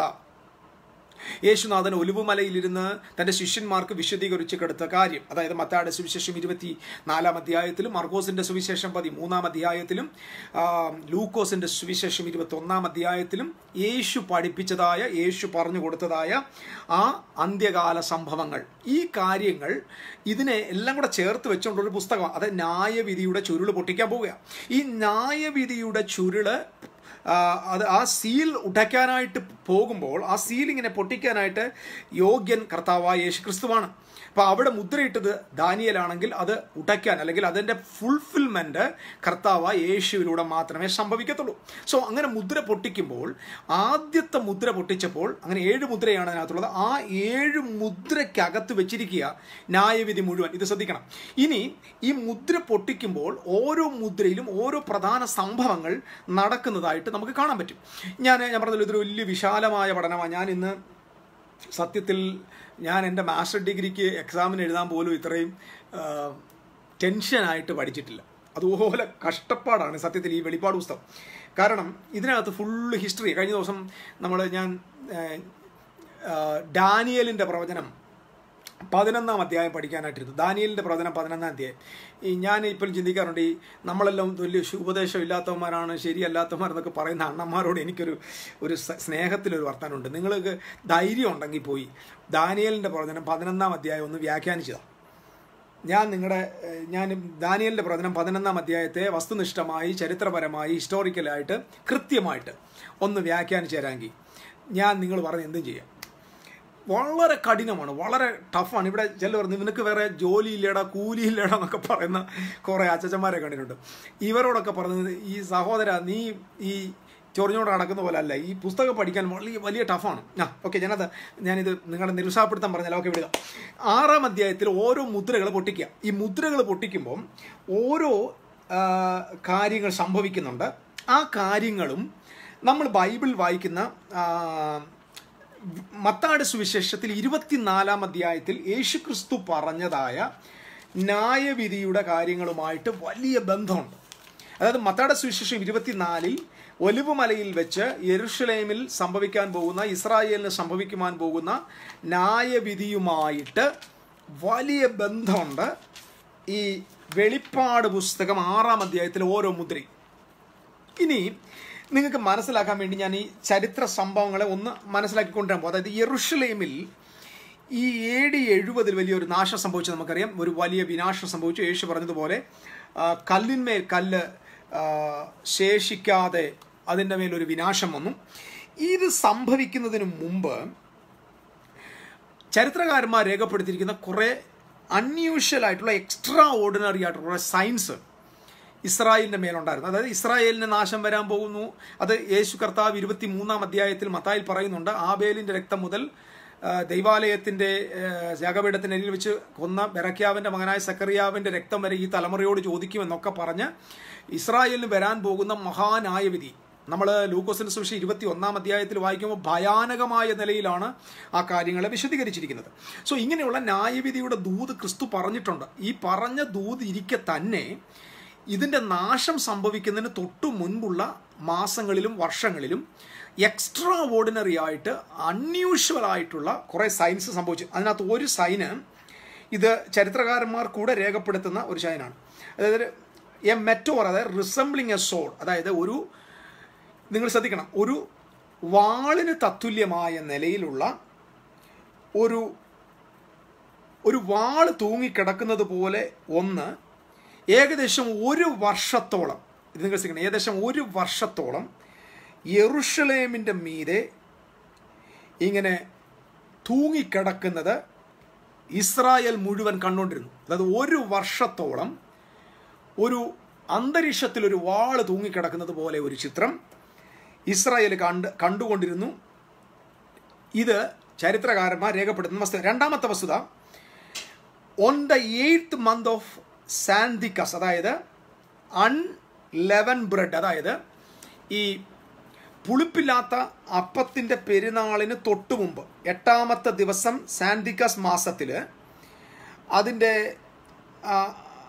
at the ninth hour of the night അതായത് ഈ മാസത്തിന്റെ എട്ടാമത്തെ ദിവസത്തിന്റെ ഒൻപതാമത്തെ മണിനേരം ഒൻപതാം മണിനേരം there shone round at altar about altar altar and building of the temple a light a the brightness of the day അതായത് ഈ അൺലിവൻ ബ്രെഡിന്റെ ആ അതായത് പുളിപ്പില്ലാത്ത അപ്പത്തിന്റെ പെരുന്നാൾ നടക്കുന്ന ആ മാസത്തിന്റെ എട്ടാമത്തെ എട്ടാമത്തെ ദിവസത്തിന്റെ ഒമ്പതാം മണി നേരത്ത് യെറുഷലേം ദേവാലയത്തിന്റെ യാഗപീഠത്തിന്റെ ചുറ്റും യെറുഷലേമിന്റെ ചുറ്റിലും ഒരു അരമണിക്കൂർ നേരം നേരം അരമണിക്കൂർ നേരം പകൽ വെളിച്ചം പോലെ രാത്രി അർദ്ധരാത്രിയിൽ പകൽ വെളിച്ചം പോലെ അരമണിക്കൂർ നേരം എറുഷലേം പ്രകാശത്തിലിരുന്നു എന്നാണ്. ഇത് നിങ്ങൾ ശ്രദ്ധിക്കണം. അരമണിക്കൂർ അർദ്ധരാത്രിയിൽ എറുഷലേമിന്റെ ആലയത്തിനും അതിന്റെ ചുറ്റും ഒരു പകൽ വെളിച്ചം പോലെ ഒരു വെളിച്ചം അത്രയും ദേശ സ്ഥലത്ത് മാത്രം വന്ന് നിന്നിരുന്നു. സോ ഈ കാര്യങ്ങൾ ഇസ്രായേലിന് സംഭവിക്കാൻ പോകുന്ന വലിയ നാശത്തെക്കുറിച്ചുള്ള മുന്നറിവ് ദൈവം ഇവർക്ക് കൊടുക്കുകയായിരുന്നു. മൂന്നാമത്തെ സൈൻ സംഭവിച്ചത് ഒരു high priest leading a heifer all to all to be a sacrifice അതായത് നമ്മൾ സംഖ്യാപുസ്തകം പത്തൊമ്പതാം അധ്യായത്തിൽ ചുമന്ന പശുവിനെ റെഡ് ഹെയ്ഫറിനെ കൊണ്ടുപോയി ചാമ്പലാക്കി ആ ചാമ്പൽ വിശുദ്ധ സ്ഥലത്ത് കൊണ്ടുവയ്ക്കുന്ന പരിപാടികൾ വിശുദ്ധീകരണ നിയമം നിയമത്തിന് ഉപയോഗിക്കുന്നുണ്ട്. അങ്ങനൊരു റെഡ് ഹെയ്ഫറിനെ ദൈവാലയത്തിന്റെ അകത്ത് എറുഷലേം ദേവാലയത്തിന്റെ അകത്തൂടെ മഹാപുരോഹിതൻ കൊണ്ടുവന്ന് യാഗപീഠം നടത്താൻ യാഗപീഠത്തിലേക്ക് കൊണ്ടുപോകുന്ന സമയത്ത് she brought forth a lamb in the midst of the temple ഇത് നിങ്ങൾ ശ്രദ്ധിക്കണം ഇത് കഥയോ ഒരു മിത്തല്ല. ഒരു ചുമന്ന പശുക്കുട്ടി ഇത് ജോസീഫസിന്റെ പുസ്തകത്തിലുണ്ട്. ജോസീഫസിന്റെ പുസ്തകത്തിൽ ഈ വിഷയം വിവരണമുള്ള കാര്യം ഞാൻ ഓർമ്മിപ്പിച്ചുകൊണ്ട് പറയാം. ജോസീഫസ് സൂചിപ്പിച്ച കാര്യം. അതായത് ഒരു റെഡ് ഹൈഫർ അതായത് ഒരു ചുമന്ന പശു ദൈവാലയത്തിന്റെ അകത്ത് വെച്ച് ഒരു ആട്ടിൻകുട്ടിയെ പ്രസവിച്ചു. വിശ്വസിക്കാൻ പറ്റാത്തൊരു അൺയൂഷ്വൽ എക്സ്ട്രാ ഓർഡിനറി വേണമെങ്കിൽ അതിനെ കള്ളത്തരമെന്ന് വേണേൽ പറഞ്ഞു പക്ഷേ ഇത് സംഭവിച്ചൊരു കാര്യമാണ്. It's a strange account given by the historians some a regards as the ചിലർ തന്നെ ഫീബിൾസ് എന്ന് പറയുന്നത് but this was happened written by so many historians so ഇത് തെളിയിക്കുന്നത് നിങ്ങളുടെ പാപങ്ങളുടെ പരിഹാരത്തിനായിട്ട് കർത്താവായ യേശു ക്രിസ്തു എന്ന ഒരു കുഞ്ഞാട് അറുക്കപ്പെട്ട് കഴിഞ്ഞു എന്ന യാഥാർത്ഥ്യം വീണ്ടും ഇസ്രായേലിനെ ഓർമ്മിപ്പിക്കാൻ വേണ്ടി അവൻ കത്തിക്കാൻ വേണ്ടി കൊണ്ടുവന്ന ചാമ്പലെടുക്കാൻ കൊണ്ടുവന്നിരുന്ന റെഡ് ഗൈഫർ ദൈവാലയത്തിന്റെ അകത്ത് വെച്ച് ഒരു ആട്ടിൻകുട്ടിയെ പ്രസവിക്കുക നാലാമത്തെ അൺയൂഷ്വൽ ആയിട്ടുള്ള സംഭവം about the six hour of the night the eastern gate of the temple was seen open അതായത് ഇരുപത് പേരുണ്ടെങ്കിൽ മാത്രം അടയ്ക്കാൻ പറ്റുന്ന ഇരുപത് പേരുടെ സഹായം കൂടാതെ അടയ്ക്കാൻ പറ്റാത്ത താമ്രക്കട്ടി കൊണ്ടുണ്ടാക്കിയ എറുഷലേമിന്റെ കിഴക്കുവാതിൽ എല്ലാ ദിവസവും അർദ്ധരാത്രിയിൽ ഓട്ടോമാറ്റിക്കായി തുറന്നിരിക്കും. ഇത് നിങ്ങൾ ശ്രദ്ധിക്കണം. ഓട്ടോമാറ്റിക്കായി അർദ്ധരാത്രിയിൽ ഇത് തുറന്നു കിടന്നിരിക്കും. എന്തുകൊണ്ടെന്ന് ഇവർക്ക് ആർക്കും അറിയത്തില്ല. രാത്രിയിൽ ഇവരുടെ ജോലി ഇത് പോയി അടക്കുകയാണ് കാരണം നാൽപ്പത് വർഷത്തോളം ഇത് സാധാരണ സംഭവമായിട്ട് നടക്കുകയാണ്. ഇത് ഇസ്രായേലിന് ദൈവം കൊടുത്ത ഒരു മുന്നറിയിപ്പായിരുന്നു. അതായത് നിങ്ങൾക്ക് വിനാശം സംഭവിക്കാൻ പോവുകയാണ്. ഈ മുന്നറിയിപ്പ് ദൈവം അവർക്ക് ഇതായിരുന്നു നാലാമത്തെ അൺയൂഷ്വൽ സൈറ്റ്സ് അഞ്ചാമത്തത് soon after the feast of the passover in various part of the country before setting of the sun അതായത് എല്ലാ പാസ് ഓവർ സംഭവങ്ങൾ അതായത് അന്നത്തെ കാലത്ത് വീണ്ടും യേശുവിന്റെ മരണത്തിനും പുനരുത്ഥാനത്തിനും ഉയർത്തെഴുന്നേൽപ്പിന് ശേഷം വീണ്ടും എറുസലേം ദേവാലയത്തിൽ പെസക നടക്കുന്നുണ്ട്. ഈ പെസകയുടെ സമയത്ത് എല്ലാ പെസകയുടെയും രാത്രികളിൽ ഇവർ കണ്ടുകൊണ്ടിരുന്നത് എന്തെന്നറിയാമോ സൂര്യാസ്തമയം കഴിയുമ്പോൾ chariots and armed men were seen in the air passing around over Jerusalem യെറുഷലേമിന്റെ മുകളിൽ അന്തരീക്ഷത്തിൽ രഥങ്ങളും പടയാളികളും ആയുധധാരികളും ഇങ്ങനെ ചുറ്റിത്തിരിയുന്ന ചിത്രം ഇസ്രായേലിനെ കാട്ടിച്ചുകൊണ്ടിരുന്നു ദൈവം. നിങ്ങൾക്ക് മനസ്സിലാവുന്നുണ്ടോ? എറുഷലേമിനെ കാണി അതായത് കൊറോണ വൈറസും അറുന്നൂറ്റി അറുപത്തി ആറും ഇതൊന്നും അല്ല. ഇവിടെ അക്ഷരം പ്രതി എറുഷലേമിന് സംഭവിക്കാൻ പോകുന്ന വിനാശത്തെക്കുറിച്ച് എല്ലാ തെളിവുകൾ ദൈവം അവർക്ക് കാട്ടിക്കൊണ്ടിരിക്കുന്നു. ഇതായിരുന്നു അഞ്ചാ അഞ്ചാമത്തെ അനീഷ്യലായിട്ടുള്ള തെളിവ്. ആറാമത്തത് സാധാരണ അവിടെ നടക്കുന്ന സബ്സ് ഫീസ്റ്റ് ഓഫ് പെന്തക്കോസ്റ്റിൻ എന്ന് പറയുന്ന പെന്തക്കോസ്റ്റ് ഫീസ്റ്റ് അതായത് പെന്തക്കോസ് ഉത്സവത്തിന്റെ സമയത്ത് While the priests were going by night into the inner temple to perform their customary ministration അതായത് രാത്രിയാമങ്ങളിൽ ദൈവാലയത്തിനകത്ത് ശുശ്രൂഷ ഉണ്ട്. നമ്മൾ സങ്കീർത്തനം നൂറ്റി മുപ്പത്തിനാല് കാണുന്നത് രാത്രി അല്ലയോ രാത്രികാലങ്ങളിൽ യഹോവയുടെ ആലയത്ത് നിൽക്കുന്നവരെ എന്ന് പറഞ്ഞാൽ ഈ രാത്രി സമയത്ത് പുരോഹിതന്മാർക്ക് ചില ശുശ്രൂഷകൾ ഇതിനകത്ത് ചെയ്യാനുണ്ട്. ഈ അങ്ങനെ ചെയ്തുകൊണ്ടിരിക്കുന്ന സമയത്ത് പെന്തക്കോസ്ത് നാളിൽ പെന്തിക്കോസ്തിന്റെ ആ ഫീസ്റ്റിന്റെ സമയത്ത് രാത്രിയിൽ ഇവർ ചെയ്യുമ്പോൾ the first felt as the said a shaking അവർക്ക് വിറയ്ക്കാൻ തുടങ്ങുന്നുണ്ട്. Accompanied by a indistinct murmuring അതായത് ഒരിക്കലും പ്രതീക്ഷിക്കാത്ത നിലയിലുള്ള മർമറിങ് മർമറിങ് എന്ന് പറഞ്ഞാൽ പിറുപിറുക്കുന്ന ശബ്ദം. അവരെ ആ ഇരിക്കുന്ന സ്ഥലത്തെ ഷേക്കൺ ചെയ്തുകൊണ്ട് ഇങ്ങനെ മർമറിങ് സൗണ്ട് ചെയ്യുന്നു. And afterward voice as of the multitude കുറച്ച് സമയം കഴിയുമ്പോൾ ഈ മർമറിങ് ഒരു വലിയ കൂട്ടം ആളുകളുടെ ശബ്ദം പോലെ ദൈവാലയത്തിന്റെ മോസ്റ്റ് ഹോളി പ്ലേസിൽ ഇവർക്ക് കേൾക്കാൻ പറ്റിയിരുന്നു. ആൻഡ് അടുത്ത് പറഞ്ഞെങ്കിൽ the same the distinct and earnest manner കുറേ അങ്ങോട്ട് കഴിയുമ്പോൾ ഈ മൾട്ടിറ്റ്യൂഡിന്റെ സൗണ്ട് മാറിയിട്ട് അവർക്ക് മനസ്സിലാകുന്ന ഭാഷയിൽ ഇങ്ങനെയായിരുന്നു സംസാരിച്ചുകൊണ്ടിരുന്നത്. ലെറ്റസ് ഡിപ്പാർട്ട് ഹെൻസ് നമുക്ക് ഇവിടം വിട്ടു പോകാം. നമുക്കിവിടം വിട്ടു പോകാം എന്ന് അല്ലെങ്കിൽ ഈ നാട് വിടണം ഈ സ്ഥലം വിട്ടു പോകണം എന്ന് മുന്നറിയിപ്പിന്റെ ശബ്ദം അർദ്ധരാത്രിയിൽ ദൈവാലയത്തിന്റെ അകത്തെ ഇന്നർ ചേംബറിൽ മഹാപുരോഹിതന്മാർ കേട്ടുകൊണ്ടിരുന്നു യെറുഷലേം ദേവാലയത്തിനകത്ത് സംഭവിച്ച കാര്യമാണ്. യേശുവിന്റെ പുനരുദ്ധാനത്തിന് ശേഷം സ്വർഗാരോഹണത്തിന് ശേഷം യറുഷലേമിന്റെ നാശത്തിന് തൊട്ടു മുമ്പ് ഇതാണ് ആറാമത്തെ അൺയൂഷ്വൽ സൈൻ ഏഴാമത്തെ സൈൻ ശ്രദ്ധിക്കണം. And the last and the most fearful omen അവസാനമായിട്ട് സംഭവിച്ചത് അത് ജോസിഫസ് ഈ കാര്യം വ്യക്തമായിട്ട് തന്റെ തന്റെ ആന്റിക്യൂരിയസ് ജ്യൂസ് എന്ന പുസ്തകത്തിനകത്ത് പറഞ്ഞിട്ടുണ്ട്. എ ഡി അറുപത്തി രണ്ടിൽ ഒരു മനുഷ്യൻ അദ്ദേഹത്തിന്റെ പേര് ജീസസ് എന്നാണ് അദ്ദേഹത്തിന്റെ പേര്. ജീസസ് എന്ന് പറഞ്ഞാൽ ആ അയാളുടെ അപ്പന്റെ പേര് അനനാസ്. അനനാസ് എന്ന് പറയുന്ന ഒരാളുടെ മകനാണ് യേശുവ. അയാളുടെ പേര് ഈശ ജീസസ്. ഈ മനുഷ്യൻ ഒരു സാധാരണ കുടുംബത്തിൽപ്പെട്ട ഒരാളാണ്. ഈ മനുഷ്യൻ കൂടാരപ്പെരുന്നാളിന്റെ അന്ന് പെട്ടെന്ന് വന്ന് എ ഡി അറുപത്തിരണ്ടിന് കൂടാരപ്പെരുന്നാളിന്റെ അന്ന് പെട്ടെന്ന് വന്ന് ദൈവാലയത്തിൽ വളരെ ഉച്ചത്തിൽ ഇങ്ങനെ വിളിച്ചു പറഞ്ഞു. ഇങ്ങനെയാണ് വിളിച്ചു പറഞ്ഞത്. A voice from the east a voice from the west a voice from the east and voice from the west a voice from the four winds ഇത് ശ്രദ്ധിക്കണം. Four winds a voice against Jerusalem and the temple a voice against the bridegrooms and bride a voice against the whole people ജനത്തിന് വിരുദ്ധമായി ആലയത്തിന് വിരുദ്ധമായി മണവാട്ടിക്കും മണവാളനും വിരുദ്ധമായി കിഴക്ക് നിന്നും പടിഞ്ഞാറ് നിന്നും നാല് കാറ്റുകളുടെ ശബ്ദം ഒരു ശബ്ദം എന്ന് പറഞ്ഞുകൊണ്ട് ഈ മനുഷ്യൻ കിടന്ന് അലറിക്കൂകയാണ് അവസാനം പുള്ളി വിളിച്ചു പറയുന്നത് proclaim lovely both day and രാത്രിയും പകലും ഈ മനുഷ്യൻ നിലവിളിക്കുവാനും വിളിച്ചു പറയാൻ തുടങ്ങുകയാണ്. ദൈവത്തിന്റെ ന്യായവിധിയുടെ ശബ്ദം എ ഡി അറുപത്തിരണ്ട് മുതലുള്ള സമയത്ത് ഈ മനുഷ്യൻ ഭയങ്കരമായിട്ട് വിളിച്ചു പറയുന്നുണ്ട്. അവസാനം ഇദ്ദേഹത്തെ അവിടുത്തെ ഒത്തിരി ഡിസ്റ്റർബൻസ് ആയപ്പോൾ ഇദ്ദേഹത്തെ റോമൻ ഗവർണറായിരുന്ന ആൽബിനസ് എന്ന് പറയുന്ന ആളിന്റെ മുമ്പിൽ കൊണ്ടുവന്നു. അവസാനം അദ്ദേഹത്തെ അടികൊണ്ട് അടിച്ചു എന്നിട്ട് പുറത്തു വിട്ടു. പക്ഷെ അദ്ദേഹത്തിന്റെ ഈ മുറിവിന്റെ ആ എന്തു പറയുന്നത് ചാട്ടവാറിന്റെ അടി കൊണ്ടിട്ടും താന് തന്റെ വോയിസ് നിർത്തിയില്ല.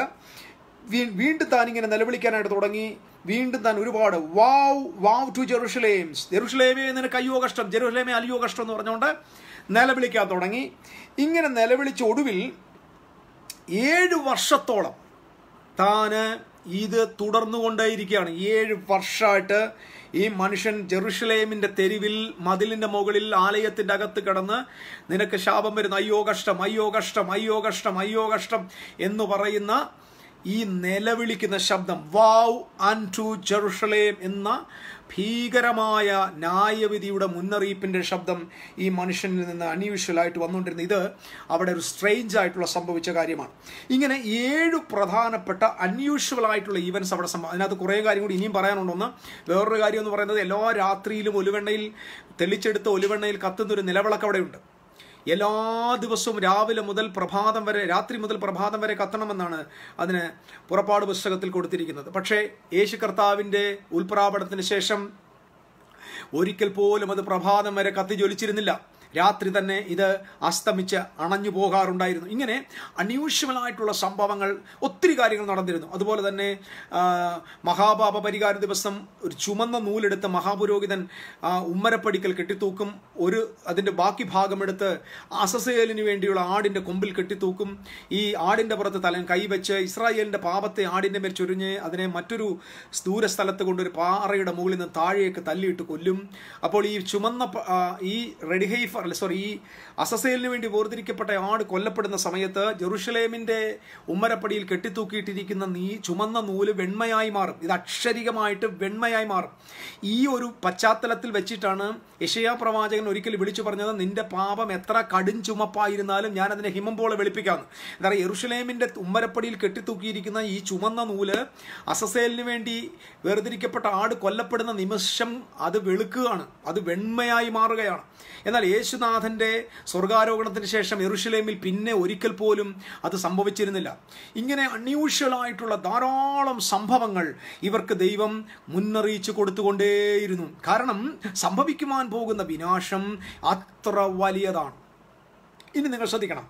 മത്താട് സുവിശേഷം ഇരുപത്തിനാലിൽ യേശു കർത്താവ് ഈ ദൈവാലയത്തെ നോക്കി പറയുന്ന സംഭവങ്ങൾ അന്ത്യകാലത്ത് അന്ത്യകാലം എന്ന് പറഞ്ഞാൽ യുഗാവസാനത്തിൽ സംഭവിക്കുവാനുള്ള കാര്യങ്ങൾ ഇസ്രായേലിന് സംഭവിക്കുവാനുള്ള കാര്യങ്ങൾ ന്യായവിധിയെക്കുറിച്ച് വിശദീകരിച്ച് വിശദീകരിച്ച് വിശദീകരിച്ച്. ദൈവം വീണ്ടും അവർക്ക് മുന്നറിയിപ്പ് കൊടുക്കുന്നു. നിങ്ങളെ കോഴി തന്റെ കുഞ്ഞിനെ ചിറകിൻ കീഴിൽ ശേഖരിക്കുന്നത് പോലെ നിങ്ങളെ എനിക്ക് ചേർക്കുവാൻ മനസ്സുണ്ടായിരുന്നു എങ്കിൽ നിങ്ങൾക്ക് മനസ്സില്ലെന്ന് പറഞ്ഞ് കർത്താവ് വീണ്ടും അവരെ അംഗീകരിപ്പാനുള്ളതായ മനസ്സ് കാണിക്കുന്നു. പക്ഷേ ഇസ്രായേലോ ദൈവത്തെ വിട്ടുപോകുന്ന ചിത്രമാണ്. ഇങ്ങനൊരു സാഹചര്യത്തിലാണ് ഞാൻ ഇങ്ങനെ ചിന്തിക്കുന്നു സ്നേഹനിധിയായ ദൈവത്തിന് പറഞ്ഞ വാക്ക് പാലിച്ചേ പറ്റൂ. അവൻ മുദ്രകൾ പൊട്ടിക്കുകയാണ്. മുദ്ര പൊട്ടിക്കുമ്പോൾ ആദ്യത്തെ നാല് മുദ്രകളിൽ ഞാൻ ഒത്തിരി വിശദീകരിക്കാതെ പോകാം. ആദ്യത്തെ നാല് മുദ്രകളിൽ നമ്മൾ കാണുന്നത് നാല് കുതിരകളെയാണ്. ആദ്യത്തെ വെള്ള കുതിര രണ്ടാമത്തെ കുതിര നമ്മൾ കാണുന്നത് ചുമന്ന കുതിര മൂന്നാമത്തത് കറുത്ത കുതിര നാലാമത്തെ കുതിര മഞ്ഞ അല്ലെങ്കിൽ ഗ്രീൻ പെയിൽ ഗ്രീൻ എന്ന് പറയുന്ന ഒരു കളർ നാല് കുതിരകൾ പുറത്തു വരികയാണ്. നിങ്ങൾ ശ്രദ്ധിക്കണം ഇനി ഇതിനകത്ത് നിങ്ങൾ മനസ്സിലാക്കേണ്ട ഒന്നാമത്തെ പ്രധാന വിഷയം. ഇത് മുദ്ര പൊട്ടിക്കുന്നു ഇത് അന്ത്യകാലത്ത് സംഭവിക്കാൻ പോവാണ് ഈ ലോകത്തിനകത്ത് സംഭവിക്കുന്നു ഈ മുദ്ര പൊട്ടിച്ച് ഇങ്ങനെ കുതിരകൾ ഇതൊന്നും അല്ല. നിങ്ങൾ ദയവ് ചെയ്ത് മനസ്സിലാക്കണം ഇത് ഈ ഈ പറയുന്ന കാര്യങ്ങൾ നിങ്ങൾ ശ്രദ്ധിക്കുക. ഇത് നിങ്ങളുടെ രക്ഷയെ ബാധിക്കുന്ന വിഷയമല്ല പക്ഷെ നിങ്ങളുടെ സ്വസ്ഥതയെ ബാധിക്കുന്ന വിഷയമാണ്. ഞാൻ ഞാൻ പറഞ്ഞല്ലോ ഈ വെളിപ്പാട് പുസ്തകത്തെ സംബന്ധിച്ച് ആയിരം പേർക്ക് ആയിരം ചിന്താഗതികളാണുള്ളത്. ഞാൻ എനിക്ക് വിശ്വസനീയമായത് മാത്രമേ ഞാൻ വിശ്വസിക്കത്തുള്ളൂ. അത് തോമസ് മാമൻ പറയുന്നതും ചാത്തന്നൂർ പറയുന്നതും ആര് പറയുന്നതും എനിക്ക് വിഷയമല്ല. എനിക്ക് വിശ്വസനീയമായ കാര്യമേ എനിക്ക് വേദോസത്തിൽ വിശ്വസിക്കാൻ പറ്റത്തുള്ളൂ. രണ്ട് എന്റെ സ്വസ്ഥതയെ കെടുത്തുന്ന ഒന്നും ഞാൻ പ്രസംഗിക്കാൻ പാടില്ല രണ്ട്. കാരണം അസമാധാനം ഉണ്ടാക്ക സമാധാനം ഉണ്ടാക്കുന്നവരാണ് ഭാഗ്യവാന്മാർ. അവരാ ദൈവത്തിന്റെ പുത്രന്മാർ. പക്ഷേ നമ്മുടെ ഇന്നത്തെ എസ്കറ്റോളജിയുടെ പ്രസംഗം കേട്ടാൽ മനുഷ്യന്മാർ ബോധം കെട്ട് കിടന്ന് ബോധം കെട്ടുപോകും നല്ല ഹാർട്ട് അറ്റാക്ക് അസുഖമൊക്കെ ഉള്ളവൻ ഈ ചാത്തന്നൂരിന്റെ പ്രസംഗം കേട്ടാൽ ഹാർട്ട് അടിച്ചു പോകത്തേ ഉള്ളൂ. സമാധാനം ഉണ്ടാക്കുന്നവരാ ഭാഗ്യവാന്മാർ. അവരാ ദൈവത്തിന്റെ പുത്രന്മാർ. അല്ലാതെ മനുഷ്യന്റെ സമാധാനം കളയുന്നവരല്ല ദൈവത്തിന്റെ പുത്രന്മാർ. സുവിശേഷത്തിന്റെ അങ്ങേ അറ്റത്ത് ഇമാതിരി ഒരു പപ്പിപ്പൂവും കൂടെ വെച്ച് കൊടുക്കുന്നത് അപമാനമാണ്. നമ്മളൊരു ഒരാൾക്കൊരു എന്തുവാ ഒരു നല്ല നല്ല എന്തുവാ പറയുന്നത് എന്തോ ഇവിടെ? നല്ലൊരു കേക്ക് പീസ്. അതായത് നല്ല ഇവിടെ കുറേ പേര് പറയും പിള്ളേർ. നല്ല ക്രീമി ആയിട്ടുള്ള നല്ലൊരു കേക്ക് പീസ് ഇങ്ങനെ കൊണ്ടു നമ്മുടെ ഡെലീഷ്യസ് ആയിട്ട് കൊണ്ടുവന്ന് എന്താ തൊട്ടപ്പുറത്തെ ഒരു പപ്പിപ്പൂവും കൂടെ വെച്ചാൽ എങ്ങനെ ഇരിക്കും? പപ്പിപ്പൂ എന്ന് പറഞ്ഞാൽ മനസ്സിലായില്ലേ? ആ പപ്പിയുടെ പൂ. അതുകൂടെ കൊണ്ടുവച്ചാൽ നമ്മൾ ഈ കൊണ്ടുവച്ചേക്കുന്ന ഈ ആഹാരം ആരെങ്കിലും കഴിക്കും. സ്നേഹത്തിന്റെ സുവിശേഷം പറഞ്ഞിട്ട് ഒടുവിൽ കൊണ്ടുപോയി നാശകോടാലി അങ്ങ് പ്രസംഗിക്കുക. നാശകോടാലി പ്രസംഗിക്കുക. എന്നിട്ട് പേടിപ്പിക്കുക. ഭയപ്പെടുത്തുക. എന്നിട്ട് ആരെയോ നേടാൻ പോകും ഇതൊന്നും ഇതൊക്കെ ഫൂളിഷ്നെസ് ഇതൊക്കെ അട്ട ഫൂളിഷ്നെസ് സംഭവിക്കത്തുമില്ല. ഇവന്മാർ ഇനി തലയും കൂത്തി നിന്നാലും ഇവർ പറയുന്ന പോലെ യേശു വരത്തുമില്ല. യേശു വരത്തില്ലെന്നല്ല ഞാൻ പറഞ്ഞത്. ഇവർ ഈ പറയുന്ന രീതിയിലല്ല യേശുവിന്റെ വരം ഇത് അപമാനമാണ് സുവിശേഷത്തിന്റെ അപമാനമാണ്. സത്യം പറഞ്ഞാൽ ഇങ്ങനെ ഭീതിജനകമായ കാര്യങ്ങളും വസ്തുനിഷ്ഠത വസ്തുതയ്ക്ക് നിരക്കാത്ത കാര്യങ്ങൾ പ്രസംഗിക്കുന്ന ആളുകളെ നല്ലപോലെ ഇവിടുത്തെ സഭ നിയമപരമായിട്ട് കൈകാര്യം ചെയ്യണമെന്നുണ്ട് കാരണം ജനങ്ങളിൽ ഭയത്തെ കൊണ്ടുവരികയാണ്. ഇസ്രായേലിന് സംഭവിക്കേണ്ട കാര്യങ്ങൾ ഇസ്രായേലിന് സംഭവിച്ചെന്ന് പറയുന്നതിന് പകരം അത് മുഴുവൻ ജനത്തിന്റെയും തലയിലോട്ട് വെച്ചേക്കരുത്. ഈ മുദ്രയും ഇന്ത്യയിലെ ജനവും തമ്മിൽ എന്താ ബന്ധം? അത് ഞാൻ ചോദിക്കുക. ഇവിടെ വെച്ചിരിക്കുന്ന മുദ്രയും ഇവിടെ വെച്ചിരിക്കുന്ന മുദ്രയും ആഫ്രിക്കയിലെ ജനവും തമ്മിൽ എന്താ ബന്ധം? ഇവർ ഇവിടെ വെച്ചിരിക്കുന്ന മുദ്രയും നോർത്ത് ഇന്ത്യയിൽ താമസിക്കുന്ന ജനങ്ങളും തമ്മിൽ എന്താ ബന്ധം? എന്താ ബന്ധം? രണ്ട് ഇവിടെ അടുത്ത ആളുകൾ ഇപ്പം പറഞ്ഞു നരകം ഇപ്പം എന്നെ എന്നെക്കുറിച്ച് നാട്ടുകാർ പറഞ്ഞ നരകവും ഇല്ല സ്വർഗവും ഇല്ല എന്ന് പറഞ്ഞ ഉപദേശിക്കുന്ന അങ്ങനെ അങ്ങ് ഇരുന്നോട്ടെ. ഞാൻ അങ്ങനെ പറഞ്ഞില്ല എന്നുള്ളത് എനിക്ക് നന്നായിട്ടറിയാം. പിന്നെ ഞാൻ പറഞ്ഞ കാര്യം നിങ്ങൾ പ്രസംഗിക്കുന്ന നരകത്തിലും നിങ്ങൾ പറയുന്ന സ്വർഗത്തിലും ഞാൻ വിശ്വസിക്കുന്നില്ലെന്ന്. അല്ല നരകവും സ്വർഗവും ഇല്ലെന്ന് പറഞ്ഞടക്കാൻ ഞാൻ ഊളമ്പാറയെന്ന് വന്ന ആളൊന്നുമല്ല. അതുകൊണ്ട് ഇനി എന്ത് പറഞ്ഞാലും എനിക്ക് വിഷയമില്ല. ഇവിടെ ഈ വേർഡുമായിട്ട് അല്ലെങ്കിൽ യഹൂദന് കൊടുത്ത യഹൂദന്റെ പ്രമാണവുമായിട്ട് യഹൂദന്റെ ആലയവുമായിട്ട് ഈ പുതുനിയമത്തിലെ ജനതയ്ക്ക് എന്ത് ബന്ധം? ജാതികൾക്ക് എന്ത് ബന്ധം? ഇസ്രായേലുമായിട്ട് ഇന്ത്യക്കാരന് എന്ത് ബന്ധം? നരേന്ദ്രമോദിക്കും അമിത്ഷായ്ക്കും ഇന്ത്യയിലെ കാബിനറ്റ് മിനിസ്റ്റേഴ്സിനും നോർത്ത് ഇന്ത്യ താമസിക്കുന്ന ജനകോടികളായി ഹൈന്ദവരായിട്ടുള്ള അക്രൈസ്തവ സമൂഹത്തിന് ഈ മുദ്രയുമായിട്ട് എന്താ ബന്ധം? എനിക്കറിയാമോ ചോദിക്കുക എന്താ ബന്ധം? ഇവരൊക്കെയായിട്ട് ദൈവം എന്നാ ഉടമ്പടി ചെയ്തേ? ഈ മുദ്ര പൊട്ടിക്കാനും പ്രവചനം പറയാനും ദൈവത്തിന്റെ കവനന്റെ ജഡ്ജ്മെന്റ് നടത്താനും എന്നാ ഈ അത്യുന്നതനായ ദൈവം ഈ പഞ്ചപാവങ്ങളോട് ഉടമ്പടി ചെയ്തത്? ദൈവം ഭൂമിയിൽ ഉടമ്പടി ചെയ്ത ഒറ്റ ജനതയല്ലേ ഉള്ളൂ. അത് ഇസ്രായേലല്ലേ? ആ ജനതയോടല്ലേ ദൈവത്തിന്റെ ഉടമ്പടി? ആ ഉടമ്പടി തെറ്റിക്കുന്നവർക്കല്ലേ ന്യായവിധി? ദൈവം ഈ ഭൂമിയിൽ വേറെ ആരോടെങ്കിലും ഉടമ്പടി ചെയ്തോ? പുതിയ നിയമത്തിൽ ഉടമ്പടി ദൈവപുത്രനായ ക്രിസ്തുവും അവിടുത്തെ പിതാവും തമ്മിൽ ചെയ്ത ഉടമ്പടിയാണ് ന്യൂ കമനന്റ് എന്ന് പറയുന്നത് അതിന്റെ മധ്യസ്ഥനും അതിന്റെ സെക്കൻഡ് പാർട്ടിയും ക്രൈസ്റ്റാണ്. ന്യൂ ടെസ്റ്റമെന്റ് ഉടമ്പടിക്കകത്ത് ഞാൻ പങ്കാളിയല്ല ഞാൻ അതിന്റെ ബെനിഫിഷ്യറി മാത്രമാണ് പുതിയ നിയമ ഉടമ്പടിയിൽ മാനവജാതിയെ ഉൾപ്പെടുത്തിയിട്ടില്ല. പുതിയ നിയമ ഉടമ്പടി പിതാവും പുത്രനും തമ്മിൽ ചെയ്തതാണ്. പിതാവും പുത്രനും തമ്മിൽ ചെയ്ത ഉടമ്പടിയെ ബ്രേക്ക് ചെയ്യാൻ ഭൂമിയിൽ ആർക്കും പറ്റില്ല. ബ്രേക്ക് ചെയ്യാത്തിടത്തോളം കാലം ന്യായവിധിയില്ല.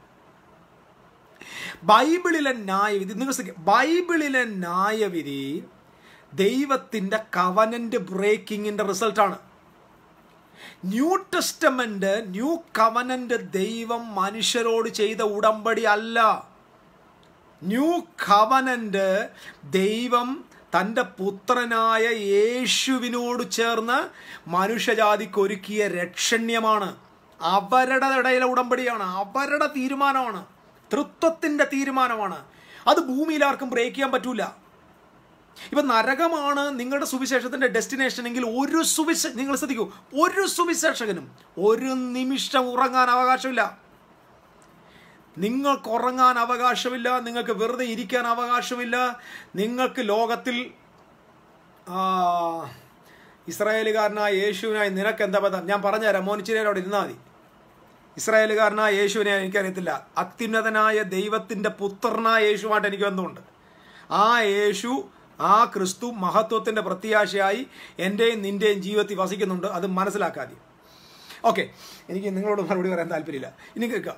ഇവിടെ ഇസ്രായേലിന്റെ ഉടമ്പടി ഉടമ്പടി ഇസ്രായേലോട് ചെയ്തു. ഉടമ്പടി തെറ്റിച്ചവരുമായിട്ട് ദൈവം ന്യായവിധി പറയുന്നു. ആ ന്യായവിധിയുടെ സീലാണ് പൊട്ടിക്കുന്നത്. ആ ന്യായവിധിയുടെ സ്ക്രോളിനകത്ത് മുദ്ര വെച്ചിരുന്ന സീൽ പൊട്ടിക്കുക ആദ്യത്തെ സീലിൽ നമ്മൾ കാണുന്ന ഒരു വെള്ളക്കുതിര വരുന്നതാണ്.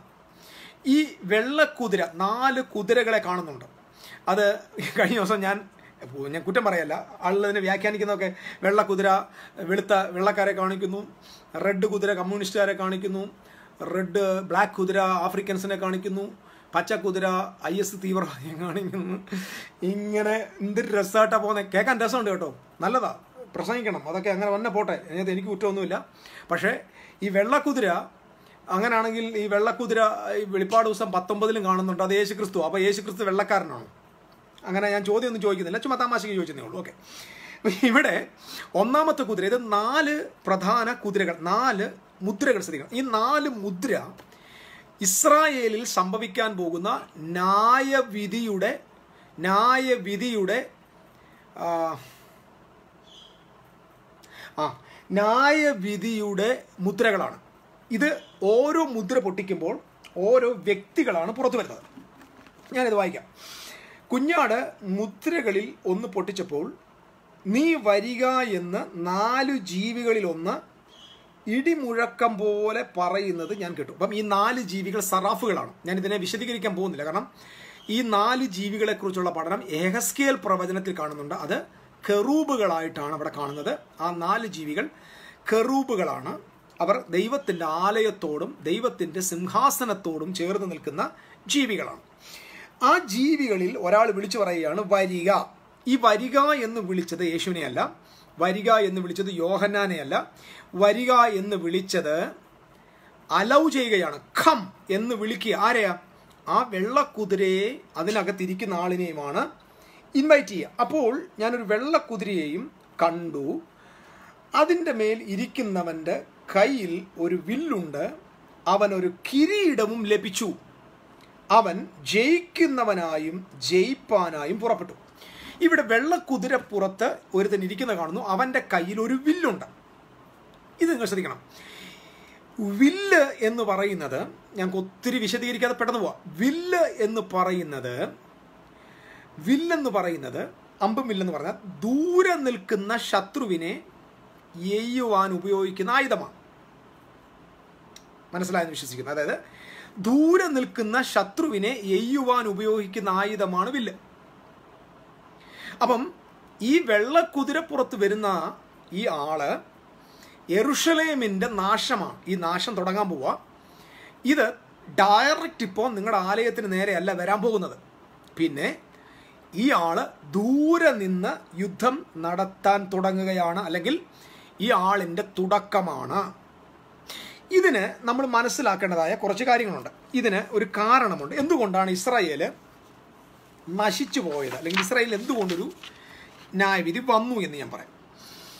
ഈ അന്നത്തെ മഹാപുരോഹിതനായിരുന്ന ആ മഹാപുരോഹിതൻ അന്നത്തെ എ ഡി അറുപത്തി രണ്ടിൽ ഇസ്രായേലിന്റെ ന്യായാധിപനായിരുന്നു ഇസ്രായേലിലെ മഹാപുരോഹിതനായിരുന്ന ആളിന്റെ മകനാണ് എലിയാസർ. ഇത് ഞാൻ പറഞ്ഞ ഹിസ്റ്ററിയാണ് ശ്രദ്ധിക്കണം. ഈ എലിയാസറും അന്ന് ഈ ഇസ്രായേലിലെ സമ്പത്ത് കാശ് റോമിന് കൊടുക്കണം എന്ന് പറയുന്ന കുറേ നിയമങ്ങളും. റോമിലെ വലിയ വലിയ ആളുകൾ എറുഷലേം ദേവാലയത്തിനകത്ത് വന്ന് യാഗം നടത്താനുള്ള അനുവാദം കൊടുക്കണം എന്ന് പറയുന്ന ചില സംഭവങ്ങൾ. അവിടുത്തെ ഒഫീഷ്യൽസിന് ദൈവാലയത്തിനകത്ത് പങ്കാളികളാക്കണം എന്ന് പറയുന്ന ചില കാര്യങ്ങൾ ഒക്കെ ഇവരുടെ ആലയത്തോടുള്ള ബന്ധത്തിൽ വന്നപ്പോൾ അന്നത്തെ മഹാപുരോഹിതനായിരുന്ന ആ വ്യക്തിയുടെ മകനായ എലിയാസർ ഈ വിഷയങ്ങളെ എതിർക്കുകയും ഈ വിഷയങ്ങളെ ഇദ്ദേഹത്തിന്റെ എതിർപ്പ് അന്ന് അവിടെ ഉണ്ടായിരുന്ന പല യഹൂദന്മാരും എതിർപ്പ് പ്രകടിപ്പിക്കുകയും ചെയ്തു. ഈ പ്ര ഈ എതിർപ്പ് പ്രകടിപ്പിച്ച സമയത്ത് ഇവർ റോമ റോം സാമ്രാജ്യത്തിന്റെ ആളുകളുമായിട്ട് ഇതിന്റെ പേരിൽ മത്സരം തുടങ്ങി. ഞാനിത് വലിയ ഹിസ്റ്ററിയാണ് കുറച്ച് കാര്യം ഞാൻ പെട്ടെന്ന് പറയാം. വലിയ മത്സരം ആരംഭിച്ചു. അങ്ങനെ ഇതിനകത്തൊരു ഭയങ്കര സിവിൽ പ്രോബ്ലം അങ്ങനെ കുറേ യഹൂദന്മാരായ ആളുകൾ സെലറ്റ്സ് ആളുകൾ റോമിലെ കുറച്ച് ആളുകളെ കൊന്നു കളയുകയും ചെയ്തു. ഇതിന്റെ പേരിൽ ആരംഭിച്ച വലിയ ഒരു സിവിൽ വാർ അല്ലെങ്കിൽ ഇതിനകത്ത് സംഭവിച്ച ഈ വലിയ റിബലിയസിനെ തകർക്കാനായിട്ട് അവസാനിപ്പിക്കാനായിട്ട് അന്നത്തെ ഇതിന് പുറകെ ഒത്തിരി ചരിത്രമുണ്ട് ഞാൻ ഒന്നും പറയുന്നില്ല. അന്നത്തെ സിറിയയുടെ ലെഗേറ്റ് ഓഫ് സിറിയ സിറിയയുടെ അധിപതിയായിരുന്ന ഭരണാധികാരിയായിരുന്ന സെസ്റ്റസ് ഗാലസ് സെസ്റ്റസ് ഗാലസ് എന്ന് പറയുന്ന ഒരാൾ ഏകദേശം ഒരു thunder bolt of twelfth legion അതായത് ഒരു ലീജിയൻ എന്ന് പറഞ്ഞാൽ ആറായിരം പേര്. അങ്ങനെ പന്ത്രണ്ടായിരം അല്ല പന്ത്രണ്ട് legion thunderbolt of twelfth legion എന്നാണ് പറയുന്നത്. ഏകദേശം എഴുപത്തി രണ്ടായിരത്തോളം സൈന്യങ്ങളുമായിട്ട് യെറുഷലേമിനെതിരെ കടന്നു വന്ന് ഈ റോമിനെതിരെ റിബലിയസ് ആയിരിക്കുന്ന ആളുകളെ നശിപ്പിക്കുവാനായിട്ട് അദ്ദേഹം തീരുമാനിച്ചു. അങ്ങനെ ഈ സെസ്റ്റസ് ഗാലസ് എന്ന് പറയുന്നത് ശ്രദ്ധിക്കണം ഈ ഞാൻ ഈ പറഞ്ഞു വരുന്ന കുതിരയുടെ കഥ പറയാൻ വേണ്ടിയാണ് ഞാൻ ഈ വരുന്നത്. സെസ്റ്റസ് ഗാലസ് വന്ന് എറുഷലേമിൽ യുദ്ധം തുടങ്ങി. അവിടെ നടന്ന ഏറ്റവും വലിയ യുദ്ധമാണ് അദ്ദേഹം വന്ന് ജാഫ്ന എന്ന് പറയുന്ന സ്ഥലം പിടിച്ചെടുക്കും ജാഫ് പിടിച്ചെടുക്കി ജാഫ് എന്ന് പറയുന്ന സ്ഥലം പിടിച്ചടക്കി. ജാഫ് പിടിച്ചടക്കിയ ശേഷം മുൻപോട്ട് താൻ വരുമ്പോൾ ഗലീലിയിൽ ചില കാര്യങ്ങൾ തന്നെ കുറേ ആളുകളെ കൊന്നു. ഏകദേശം ഒരു എണ്ണായിരത്തി അഞ്ഞൂറിലധികം ആളുകളെ താൻ ഈ വരുന്ന വഴിയിൽ കൊന്നു കളഞ്ഞു. എണ്ണായിരത്തി അഞ്ഞൂറിലധികം ആളുകളെ തുടങ്ങുക കേട്ടോ. ഇസ്രായേലിന്റെ നാശം തുടങ്ങാൻ പോകും. ഇതാണ് ആദ്യമായിട്ട് കാണുന്ന ഒരു കുതിര വരിക. തുടക്കമായത്. സെസ്റ്റസ് ഗാലസ് അവിടെ വന്ന് നടന്ന ഹൊറാൻ എന്ന് പറയുന്ന സ്ഥലത്ത് നടന്ന ഒരു യുദ്ധമുണ്ട്. ആ യുദ്ധത്തിന്റെ പേര് ബാറ്റിൽ ഓഫ് ബാത്ത് എന്നാണ്. ബാറ്റിൽ ഓഫ് ബാത്ത് എന്ന് പറയുന്ന യുദ്ധത്തിൽ ഏകദേശം ആറായിരം റോമൻ സൈനികർ ആറായിരം റോമൻ സൈനികർ ഈ യുദ്ധത്തിൽ കൊല്ലപ്പെടുകയും സെസ്റ്റസ് ഗാലസ് പരാജയപ്പെടുകയും ചെയ്തു. അതായത് റോമിലെ അന്ന് യെറുസലേം ഭരിച്ചുകൊണ്ടിരുന്നത് ഹെറോദ്യരാണ് അതായത് ഹസ്മോനിയൻ രാജവംശമാണ്. ഈ ഇത് നിങ്ങൾ ശ്രദ്ധിക്കണം. ഈ ഹസ്മോനിയൻ രാജവംശം യഹൂദ ഗോത്രക്കാരാണ്. ഇവർ ഭരിച്ചുകൊണ്ടിരിക്കുന്ന സമയത്തായിരിക്കണം ഇവരുടെ ചെങ്കോൽ യേശുവിന്റെ കയ്യിലോട്ട് നീട്ടേണ്ടത്. നിങ്ങൾ ശ്രദ്ധിക്കണം. അതായത് യാക്കോബ് കൊടുത്ത പ്രവചനം ഇങ്ങനെയാ. യഹൂദയോട് അവകാശമുള്ളവൻ വരുവോളം അധികാരം യഹൂദയിൽ നിന്നും അതിന്റെ ചെങ്കോൽ അവന്റെ മുഴങ്കാലുകളുടെ ഇടയിൽ നിന്ന് നീങ്ങിപ്പോകത്തില്ലെന്ന് അതായത് കർത്താവ് അധികാരമേൽക്കാൻ വരുന്നത് വരെ ഇത് ശ്രദ്ധിക്കണം. ടൂ തൗസൻഡ് ഇയേഴ്സിന് ശേഷമുള്ള കഥയല്ല. കാരണം ഇന്ന് യഹൂദന്റെ കയ്യിൽ ഒരു അധികാരവും ഇല്ല. യഹൂദ ഗോത്രത്തിന്റെ കയ്യിലും ഇല്ല.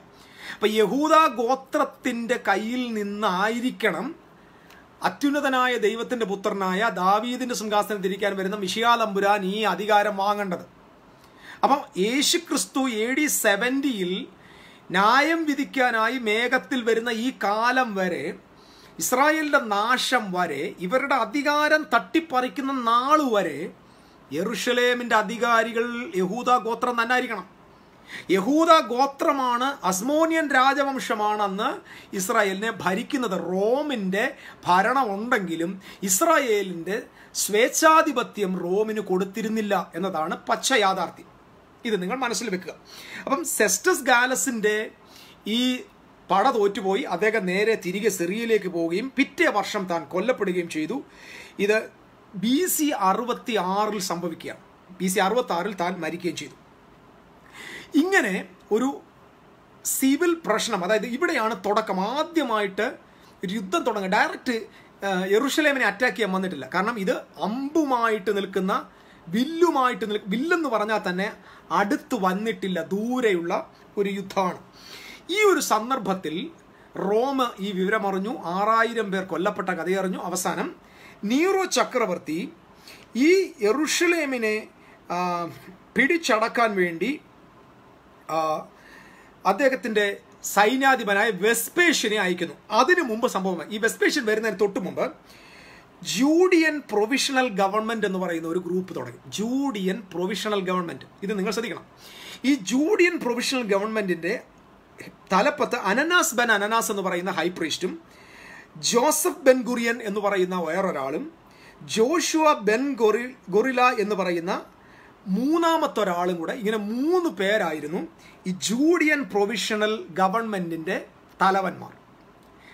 ഈ പേരുകൾ നിങ്ങളുടെ മനസ്സിൽ വെക്കുക. അനനാസ് ബൻ അനനാസ്. ഈ അനനാസ് ബൻ അനനാസും ഈ ഗവൺമെന്റിൽ ഈ ഒരു സെക്ട് അല്ലെങ്കിൽ ഈ ഒരു ഇൻസ്റ്റിറ്റ്യൂഷനാണ് റോമിന് അനുകൂലമായി നിന്ന് റോമിനെ പാസിഫൈ ചെയ്യാൻ റോമുകാരോട് വഴക്കുണ്ടാകാതിരിക്കാൻ വേണ്ടി അവർ സ്ഥാപിച്ച ഒരു ഗലീലിയൻ ഗവൺമെന്റും അല്ലെങ്കിൽ ഒരു ജുഡീഷ്യൻ ജുഡിയൻ പ്രൊവിഷണൽ ഗവൺമെന്റാണിത് ഇവരെയാണ് നമ്മൾ ബൈബിളിൽ ഞാൻ മുമ്പ് ഒരു വീഡിയോ പറഞ്ഞിട്ടുണ്ട്. തടുക്കുന്നവൻ വഴി നീങ്ങി പോണം ഇവിടെ കിടന്നങ്ങ് ആലമുറ ഇടുക. തടുക്കുന്നവൻ അന്തരിക്രിസ്തുവാണ് തടുക്കുന്നവൻ പരിശുദ്ധാത്മാവാണ് തടുക്കുന്നവൻ തപ ഇതൊന്നുമല്ല. കിടന്നങ്ങ് ചിലക്കുകയും ബഹളം വെക്കുകയും ചെയ്യേണ്ട.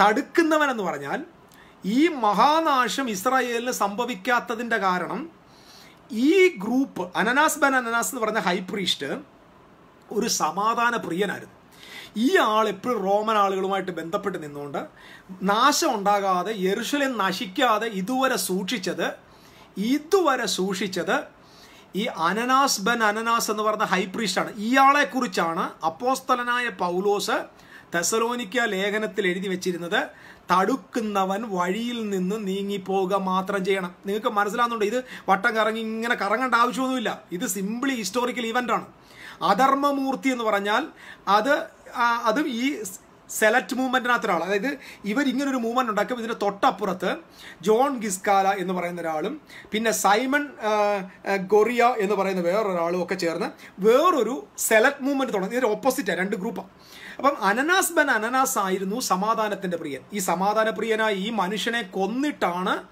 ആ സെലക്ട്സ് മൂവ്മെന്റ് മുമ്പോട്ട് വരുന്നത്. അത് വേറൊരു ചരിത്രമാണ് ഞാൻ ആ ഭാഗത്തേക്ക് പോകുന്നില്ല.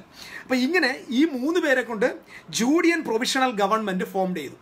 ഇങ്ങനെ അവർ യഹൂദന്മാർക്ക് അനുകൂലമാണ്. പക്ഷെ റോമാക്കാരുമായിട്ട് യുദ്ധമില്ല. ഇങ്ങനെ ഒരു ഭയങ്കര പ്രശ്നം വന്നപ്പോൾ ഇതിനെ പാസിഫൈ ചെയ്യാൻ സമാധാനത്തിലാക്കാൻ വേണ്ടി വന്ന ഗ്രൂപ്പാണ് ഈ സമയത്താണ് ഈ സിക്കാരിയുടെ ലീഡറായ സിക്കാരി എന്ന് പറയുന്നൊരു ഗ്രൂപ്പുണ്ട്. സിക്കാരി എന്ന് പറയുന്ന ഗ്രൂപ്പിന്റെ അവർ കടാരക്കാരെന്ന് പറയുന്ന സിക്കാരി ഗ്രൂപ്പിന്റെ ഒരു നേതാവായ മനാഹം ബെൻ യഹൂദ എന്ന് പറയുന്ന ഒരാൾ യെറുഷലേമിൽ വന്നു. പക്ഷേ ഈ ഒരു ഗ്രൂപ്പ് അയാളെ അവിടെ നിന്ന് പുറത്താക്കി കളഞ്ഞു. കുറച്ച് കഴിഞ്ഞപ്പോൾ സൈമൺ ബാർ ഗോറിയ എന്ന് പറയുന്ന വേറൊരാളും തനിക്കൊരു സേനയുമായിട്ട് വന്ന് അദ്ദേഹത്തെയും എന്ത് ചെയ്തു? എഡ്ജക്റ്റ് ഇവിടെ നിന്ന് എറുഷലേമിൽ നിന്ന് പുറത്താക്കി കളഞ്ഞു. അതായത് ഈ സമയത്ത്. ഇങ്ങനൊരു സമയത്താണ് ആദ്യമായിട്ട് ഒരാൾ രംഗത്ത് വരിക. ആരാണ്? നമ്മുടെ വെസ്പേഷ്യൻ എന്ന് പറയുന്ന ആൾ ഇദ്ദേഹത്തിന് കിരീടം വാങ്ങിച്ചുകൊണ്ട് വരിക. ഇന്ന് കേൾക്കണം. അവിടെയാണ് നമ്മൾ ഒന്നാമത്തെ കുതിരയെ കാണുന്നത്. ഈ ഒന്നാമത്തെ കുതിര ഇയാൾ യുദ്ധം ചെയ്യാനും ജയിക്കാനുമായിട്ട് പുറപ്പെട്ടു. അവന് കിരീടം ലഭിച്ചു എന്നാണ്. അതായത് ഈ നടന്ന സിവിൽ വാറും പ്രശ്നങ്ങളും മനസ്സിലാക്കിയ നീറോ ചക്രവർത്തി നീറോ ചക്രവർത്തി വെസ്പേഷ്യന് ഒരു സ്പെഷ്യൽ അധികാരം കൊടുത്ത് അവിടുത്തെ സ്പെഷ്യൽ അപ്പോയിൻമെന്റിൽ താൻ വരികയാണ്. ആ ചിത്രമാണ് നമ്മൾ വെളിപ്പാട് പുസ്തകം ആറാം അധ്യായത്തിന്റെ ഒന്ന് രണ്ട് വാക്യങ്ങളിൽ കാണുന്നത്. ഈ വെസ്പേഷ്യൻ അന്ന് അദ്ദേഹം ഡേ ഡയറക്റ്റ് ഇങ്ങോട്ട് വന്നിട്ട് ആരെയും അടിക്കുകയൊന്നും ചെയ്യല്ല. അദ്ദേഹമാണ് ഇദ്ദേഹത്താണ് കിരീടം ലഭിച്ചത്. എന്തിനാ വിളിച്ചത്? ജയിക്കാനും ജയിപ്പി അല്ലെങ്കിൽ എഴുതി വെച്ചിരിക്കുന്നത് എങ്ങനെയാണ്? ജയിക്കുവാനായും ജയിപ്പാനായും പുറപ്പെട്ടു. ഇദ്ദേഹം ജയിക്കുക എന്ന ലക്ഷ്യത്തോട് മാത്രം റോമിന്റെ അധിപതിയായിരുന്ന നീറോ ചക്രവർത്തിയാൽ കിരീടധാരിയായി അധികാരിയായി സ്പെഷ്യലി അയക്കപ്പെടുക. ബിക്കോസ് സിറിയയുടെ ഇവരുടെ സഖ്യകക്ഷികളായിരുന്ന സിറിയയുടെ നേതാവായ സെസ്റ്റസ് ഗാലസിനെ തകർത്ത് കളഞ്ഞു. അത് റോമിന് ഭയങ്കര നാണക്കേടായി. റോം ഒരു പ്രത്യേക അധികാരത്തോട് വെസ്പേഷ്യനെ മുമ്പിലേക്ക് വിടുകയാണ്. അതിനുശേഷം തന്റെ മകനായി ടൈറ്റസും ഈ സംഭവങ്ങളൊക്കെ ഞാൻ പറയാം. ഈ സമയത്താണ് നിങ്ങൾക്ക് മനസ്സിലാക്കാൻ വേണ്ടി പറയാം. ഇദ്ദേഹം വരുന്നുണ്ട്. ഈ വരുന്ന വഴിയിൽ അദ്ദേഹത്തിന്റെ കയ്യിലായി വില്ലിരിക്കുന്നത്. ഈ വില്ലുമായിട്ട് ഇദ്ദേഹം ഗലീല ദേശത്ത് നിന്നാണ് വരുന്നത്. യഹൂദിയിലേക്ക് വരാൻ ഒരുപാട് സമയം. ഗലീല ദേശത്തേക്ക് വരുമ്പോൾ നമുക്കറിയാൻ പറ്റുന്നുണ്ട്.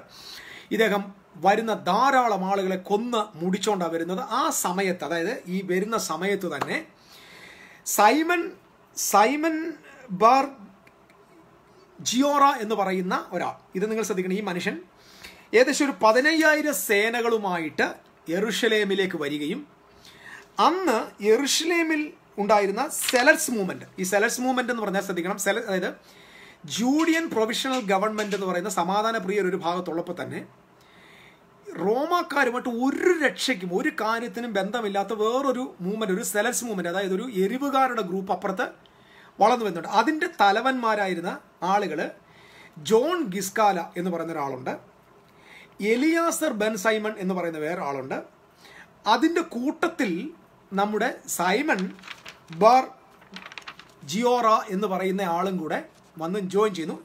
ഇവരെ ഹെൽപ്പ് ചെയ്യാനായി ഇഡൂമിയൻസ് എന്ന് പറയുന്ന ഒരാളുകളും കൂടെ വരുന്നുണ്ട്. അതായത് ഈ രണ്ട് ചേരിയാണ്. ഇങ്ങനെയുള്ള സമയത്താണ് നമ്മുടെ വെസ്പേഷ്യൻ നോർത്തിൽ നിന്ന് വരിക. വരുന്ന വഴിയിൽ തന്നെ ആയിരക്കണക്കിന് ആളുകൾ കൊന്നു.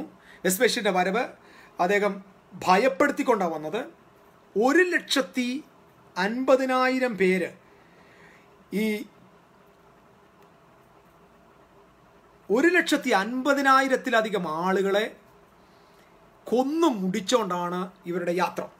ഈ വരുന്ന വഴിയിൽ കുറേ ആളുകൾ ഈ മരണം നടക്കുമ്പോൾ തന്നെ ഒത്തിരി ആളുകൾ ഗലീല കടലുകൾ കടലിലേക്ക് ചാടി. ഇത് ശ്രദ്ധിക്കണം. ഗലീല കടലിൽ അവരുടെ തോണിയുമായിട്ട് ചാടി രക്ഷപ്പെടാനായിട്ട് പോയി. അങ്ങനെ അത് പോകുന്ന സമയത്ത് വലിയ കാറ്റും കോളും ഭയങ്കര തിരമാലയും ഉണ്ടായി. ആ കടൽ ചാടി ഏകദേശം നാലായിരത്തി ഇരുന്നൂറിലധികം ആളുകൾ. നിങ്ങൾ ശ്രദ്ധിക്കണം നാലായിരത്തി ഇരുന്നൂറിലധികം ആളുകൾ ഈ പാറയിലും മറ്റും ഈ കൊടുങ്കാറ്റിൽ അകപ്പെട്ട് കൊല്ലപ്പെട്ടു. ഇതിനെക്കുറിച്ച് നമ്മുടെ കർത്താവ് പറയുന്നൊരു വാചകമുണ്ട്. ഞാനത് വായിക്കാം. ലൂക്കോസിന്റെ സുവിശേഷം ഇരുപത്തി ഒന്നാം അധ്യായത്തിന്റെ മുപ്പത്തി അഞ്ചാമത്തെ വാക്യത്തിലാണ്. സർവഭൂതലത്തിലും വസിക്കുന്ന ഏവരും മുപ്പത്തി അതായത് ഈ സമുദ്രത്തിന്റെ ഇളക്കം വാക്യം തെറ്റിപ്പോയി. ഓക്കെ സോറി ഞാൻ നിൽക്കാൻ സമയമില്ല. ആ, സമുദ്രത്തിൽ ഭൂലോകരൊക്കെയും ഭയപ്പെട്ടു പോകും സമുദ്രത്തിന്റെ ഇളക്കം. അപ്പം നമ്മൾ ഈ സുനാമിയൊക്കെ വരുമ്പോൾ ഉപയോഗിക്കുന്ന വാക്കം. ഞാനത് നോക്കട്ടെ. ഇരുപത്തൊന്നിന്റെ ആ സൂര്യനിലും ചന്ദ്രനിലും നക്ഷത്രങ്ങളിലും ലക്ഷ്യങ്ങൾ ഉണ്ടാകും. കടലിന്റെയും ഓളങ്ങളുടെയും മുഴക്ക നിമിത്തം ഭൂമിയിലെ ജാതികൾ നിരാശയോടുകൂടിയ പരിഭ്രമം ഉണ്ടാകും. ഈ വേർഡ് ശ്രദ്ധിക്കണം. ഇത് അക്ഷരം പ്രതി സംഭവിച്ചത് സമുദ്രത്തിന്റെയും ആകാശത്തിന്റെ ഇളക്കം. ഈ വെസ്പേഷ്യൻ വന്ന സമയത്ത് രക്ഷപ്പെടാൻ വേണ്ടി ഓടി കടലിൽ ചാടിയവരെ കൊടുങ്കാറ്റിൽ പാറമേൽ അടിച്ച് കൊല്ലപ്പെടും ഏകദേശം നാലായിരത്തി ഇരുന്നൂറിലധികം ആളുകൾ അന്ന് അവരുടെ ശവങ്ങൾ ഗലീല കടലിന്റെ തീരത്തടിഞ്ഞു എന്നാണ് ഞാൻ ഈ പറയുന്നത് എന്റെ പുസ്തകത്തിലല്ല ചരിത്ര പുസ്തകങ്ങളിലാണ്. അതായിരുന്നു അവിടെ നടക്കുന്ന ഏറ്റവും വലിയ പ്രതിസന്ധി. നിങ്ങൾ മനസ്സിലാക്കി ഇതാണ് വില്ലുമായിട്ട് വന്ന ഒരാൾ.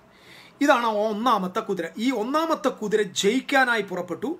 ഇദ്ദേഹം ഒത്തിരി പേരെ കൊല്ലുകയല്ല. ആ വരുന്ന വഴി കുറച്ച് കൊലപാതകം ചെയ്യുന്നു. അതേസമയം തന്നെ സൈമൺ ബാർ ജിയോറ എന്ന് പറയുന്ന ആ സെലറ്റ് മൂവ്മെന്റിന്റെ ഭാഗമായിട്ട് നിന്ന ആ റിബലിയസ് ആൾ താൻ എറുഷലേമിൽ വന്ന അതേ സമയത്ത് തന്നെ ആയിരങ്ങളെ പതിനായിരങ്ങളെ കൊന്ന് ഒരു റിബലിയസ് യുദ്ധം ഇവിടെ നടക്കുക. രണ്ടാമത്തെ യുദ്ധം ഇതിനകത്തും സംഭവിച്ചുകൊണ്ടിരിക്കുക. അതായത് വെസ്പേഷ്യൻ വരുന്ന സമയത്ത് തന്നെ ജെറൂഷലേമിനകത്ത് സിവിൽ വാറും ആരംഭിച്ചിട്ടുണ്ട്.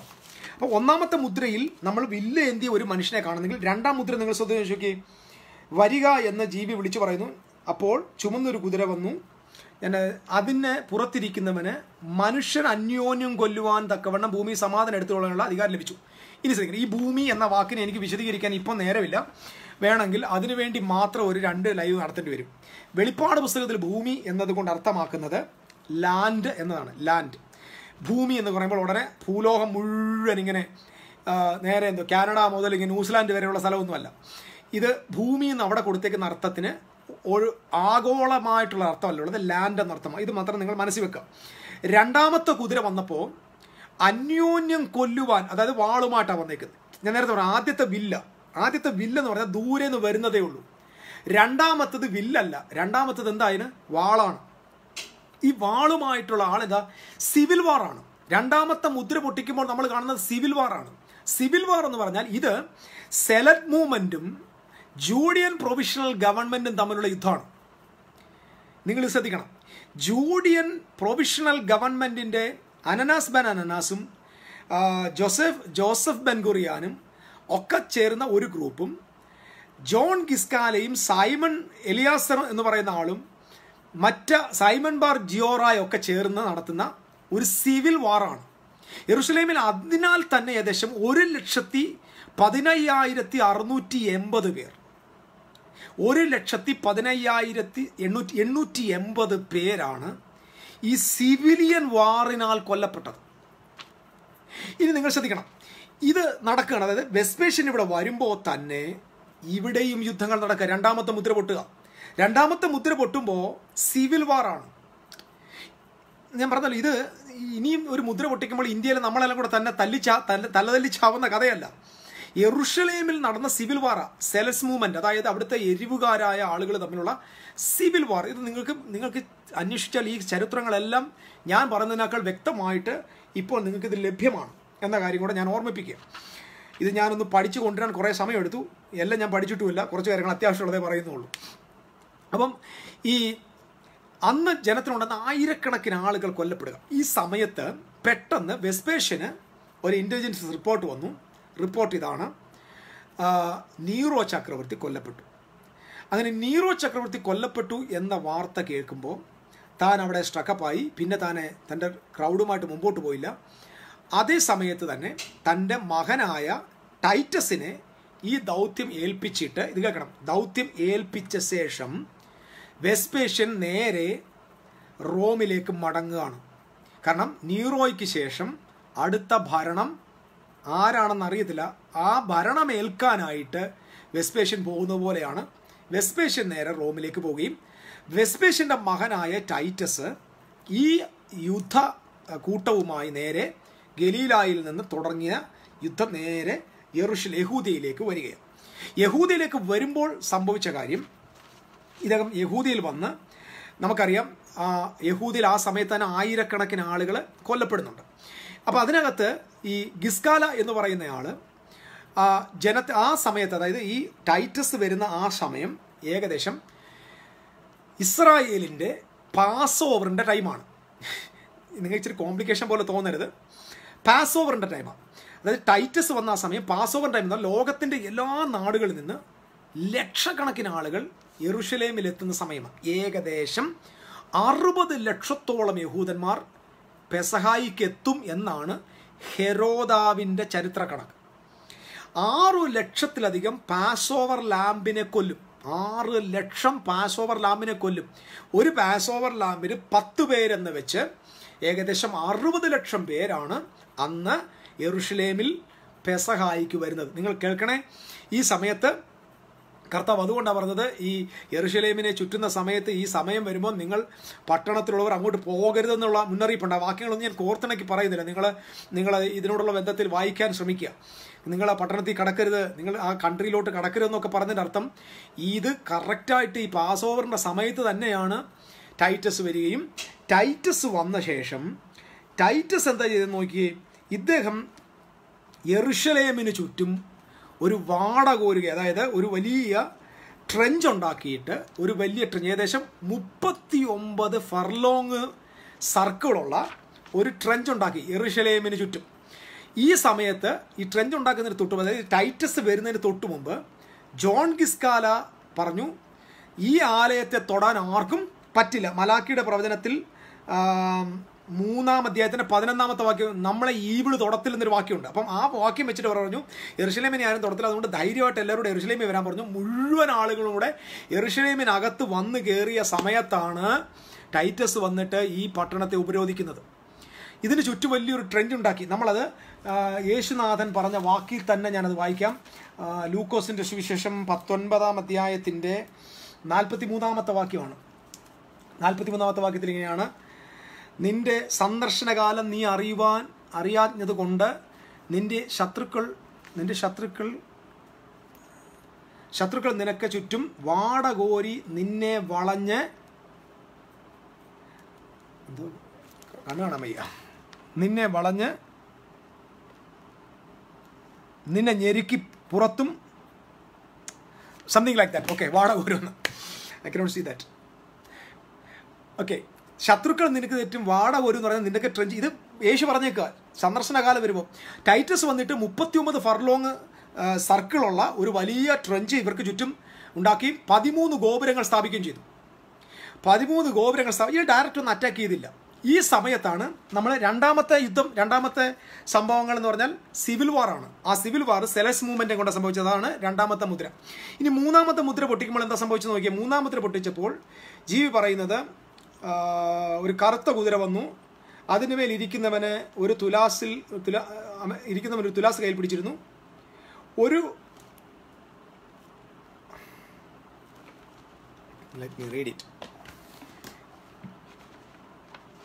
കണ്ണിന്റെ കാഴ്ച കുറഞ്ഞെന്ന് തോന്നുന്നു. പുസ്തകം. ഇത് വായിക്കാൻ പറ്റും.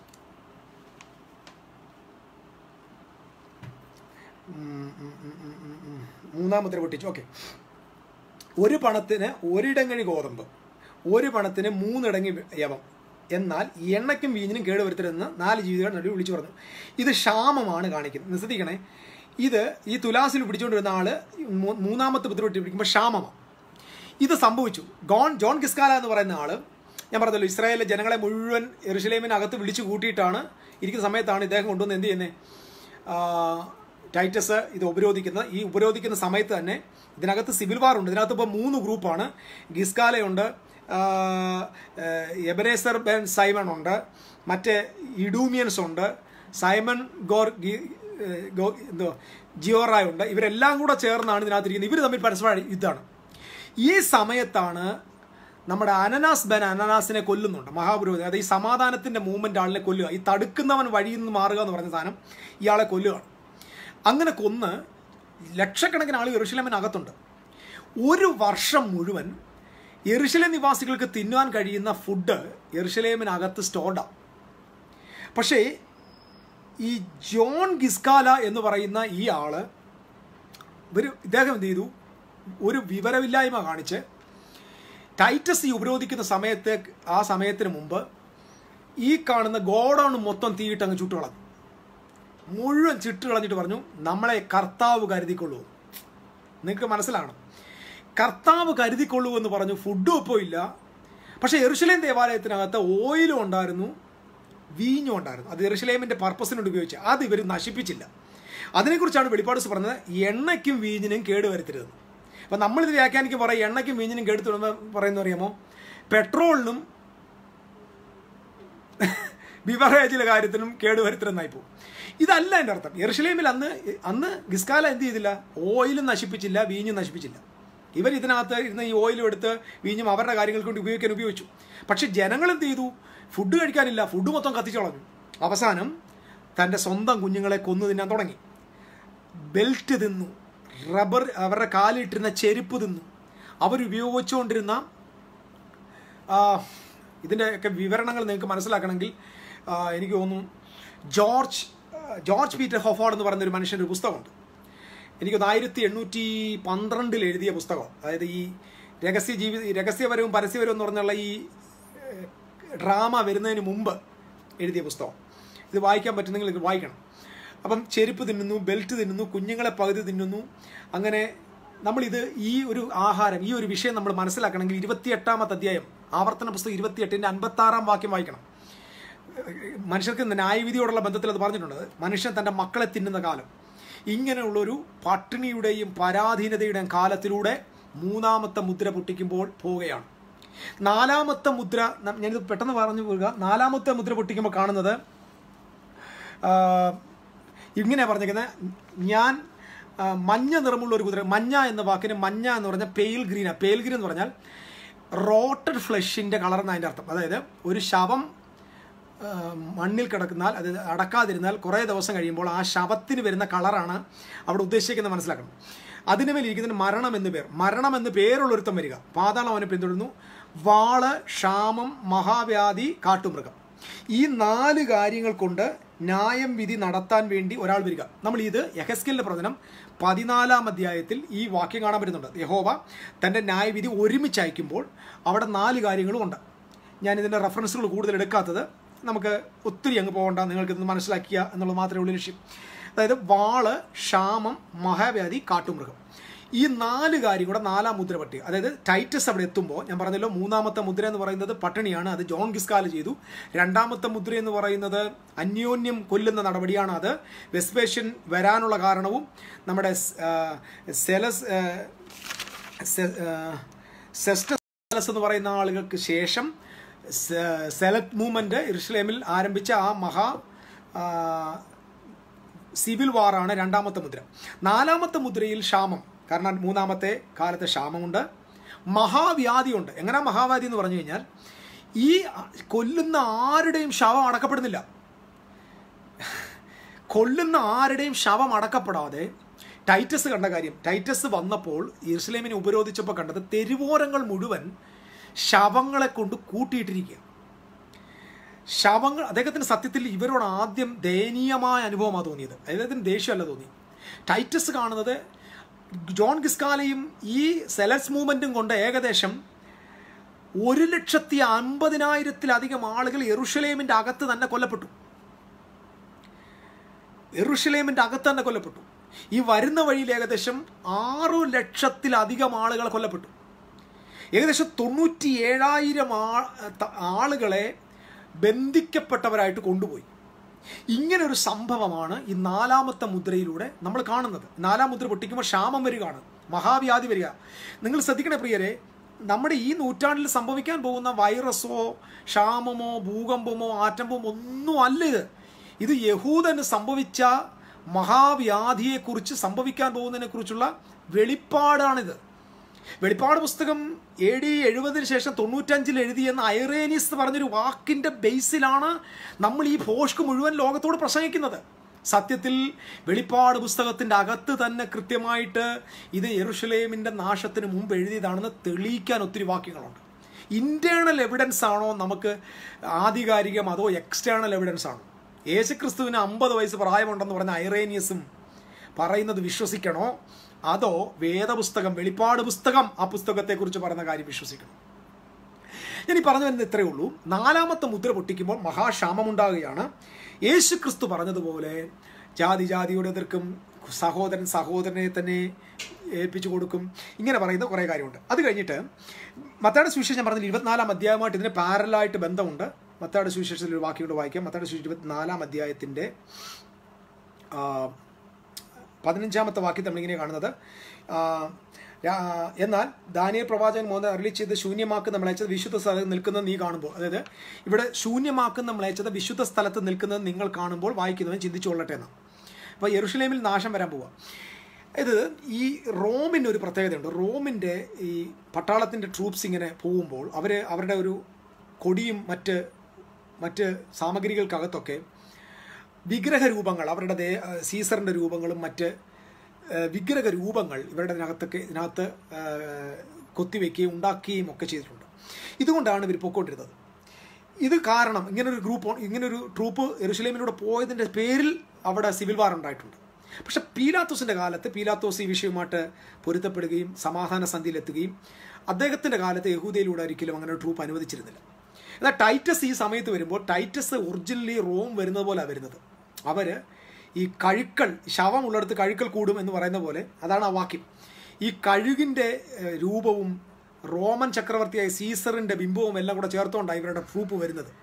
ഇത് യഹൂദൻ ഒരിക്കലും ഇങ്ങനെ ബിംബങ്ങളെ ഇഷ്ടപ്പെടാത്തതുകൊണ്ട് അത് അവർക്ക് നിക്ഷിപ്തമായതുകൊണ്ട് ദൈവനിന്ദയായതുകൊണ്ട് അവർ അലോ ചെയ്തില്ല ഈ പ്രാവശ്യം ഇവർ ഈ ബിംബങ്ങളെ കൊണ്ടുവന്ന് നേരെ യെറുഷലേമിന്റെ നടുവിൽ കൊണ്ട് കൊടി നാട്ടിയേക്കുക ഇവർക്ക് മനസ്സിലായി ഈ ഈ സമയത്ത് നമുക്ക് മനസ്സിലായതുവാ ശൂന്യമാക്കുന്ന മ്ലേശത്തെ വിശുദ്ധ സ്ഥലത്ത് നിൽക്കുന്ന കാണുമ്പോൾ നിങ്ങൾ മനസ്സിലാക്കിക്കോളാൻ പറഞ്ഞേക്കുന്ന യേശുവിന്റെ വാദം ഇപ്പോഴാണ് ഓർമ്മ വരുന്നത്.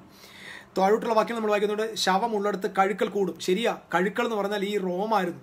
ഈ റോമ എത്തിയ സ്ഥലത്ത് കാണുന്നത് മുഴുവൻ ശവങ്ങളാണ്. ആരാ?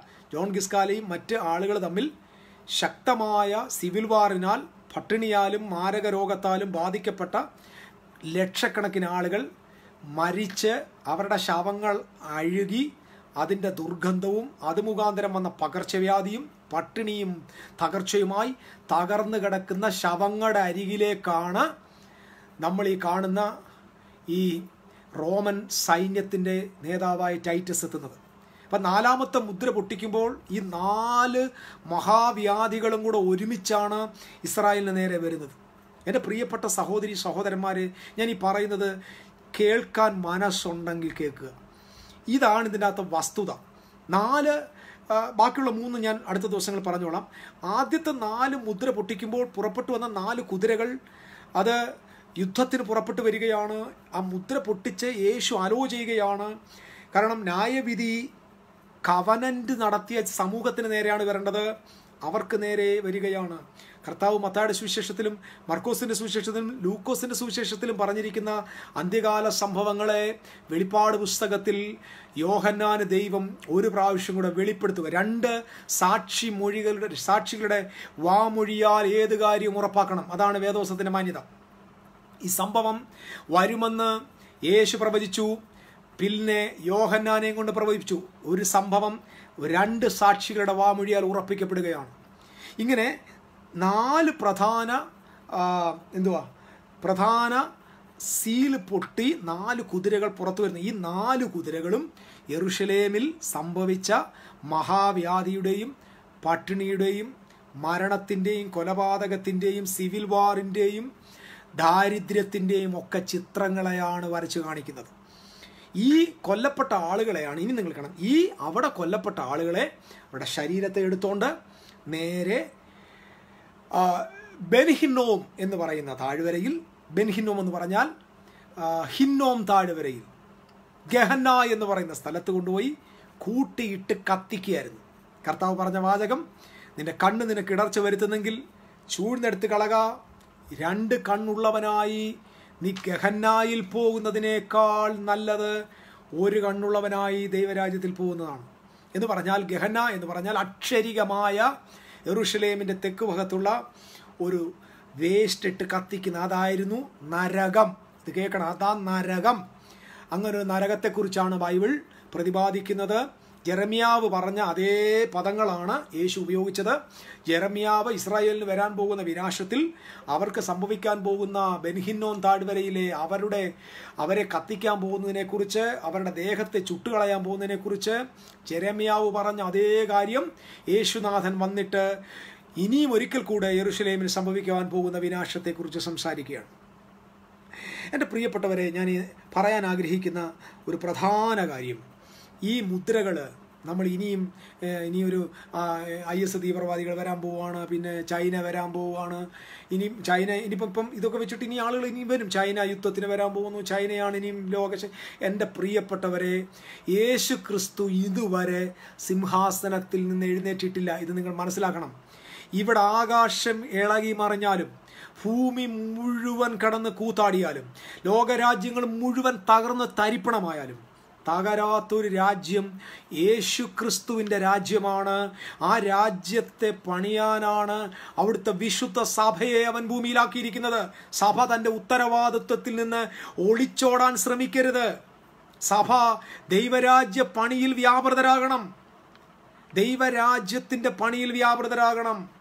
നമുക്ക് ഈ അന്ത്യകാലത്തിന്റെ ഭീകരമായ സംഭവങ്ങളെ കോർത്തിണക്കി ജനത്തെ ഭീതിപ്പെടുത്തുന്ന നടപടിയെ വിട്ട് അവിടുത്തെ രാജ്യത്തെ പ്രസംഗിക്കാൻ ആ രാജ്യത്തിന്റെ കൾച്ചർ പ്രസംഗിക്കാൻ ആ രാജ്യത്തിന്റെ അഡ്വാന്റേജ് പ്രസംഗിക്കാൻ ആ രാജ്യത്തിന്റെ വിസ്ഡം പ്രസംഗിക്കാൻ.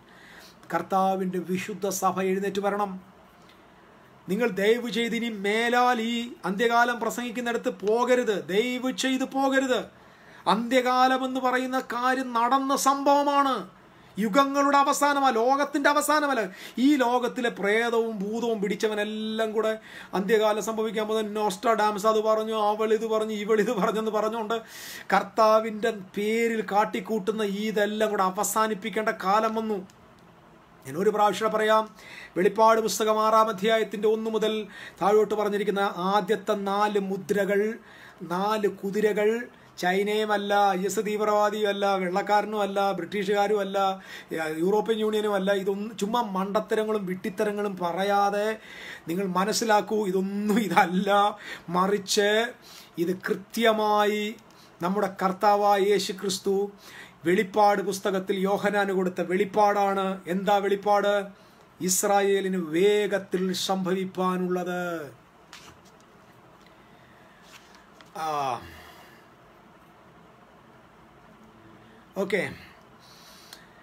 വിനു ബ്രദറെ എ ഡി എൺപത്തി തൊണ്ണൂറുടെ കാലഘട്ടത്തിലല്ല വെളിപ്പാട് ദിവസം എഴുതിയത്. എനിക്ക് തെളിയിക്കാൻ ഇപ്പം നമുക്കതിന് സമയമില്ല. അത് റോമ ഇസ്രായേലിനെ ആക്രമിക്കുന്നതിന് മുമ്പ് എഴുതിയ. കാരണം മത്തായി എന്റെ എഴുതിയിട്ടുണ്ട് മർക്കോസ് എഴുതിയിട്ടുണ്ട് ലൂക്കോസ് എഴുതിയിട്ടുണ്ട്. യോഹന്നാൻ മാത്രം ഈ എസ്കറ്റോളജി ഒന്നും എഴുതിയില്ല. എന്തുകൊണ്ടെന്ന് ചോദിച്ചാൽ യോഹന്നാൻ ഒരു പുസ്തകം തന്നെ അതിനു വേണ്ടി എഴുതി വെച്ചേക്കുക മത്തായി ഇരുപത്തിനാലിൽ സംഭവിച്ച കാര്യമാണ് വെളിപ്പാട് ദിവസത്തിൽ ആദ്യത്തെ ചാപ്റ്ററിൽ സംഭവിച്ചുകൊണ്ടിരിക്കുന്നത്.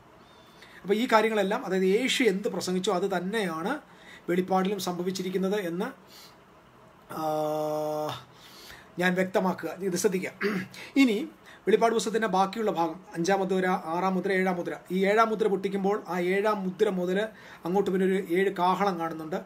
ആ കാഹളത്തിന്റെ ഒടുവിലത്തെ കാഹളം കഴിയുമ്പോൾ ഏഴ് കലശം കാണുന്നുണ്ട്. സോ ഇങ്ങനെയുള്ള ഒരു ചെയിൻ ആയിട്ടാണ് ഈ സംഭവങ്ങൾ പോയിക്കൊണ്ടിരിക്കുന്നത്. ഇതൊക്കെ എങ്ങനെ ഇസ്രായേലുമായിട്ട് ബന്ധപ്പെട്ടിരിക്കുന്നു എങ്ങനെ ഇത് യഹൂദനുമായിട്ട് ബന്ധപ്പെട്ടിരിക്കുന്നു എങ്ങനെ ഇത് ഫുൾഫിൽ ആയിരിക്കുന്നു എന്ന യാഥാർത്ഥ്യങ്ങളെ നിങ്ങൾക്ക് മനസ്സിലാക്കിക്കാൻ വേണ്ടി ഞാൻ പരമാവധി ശ്രമിക്കാം.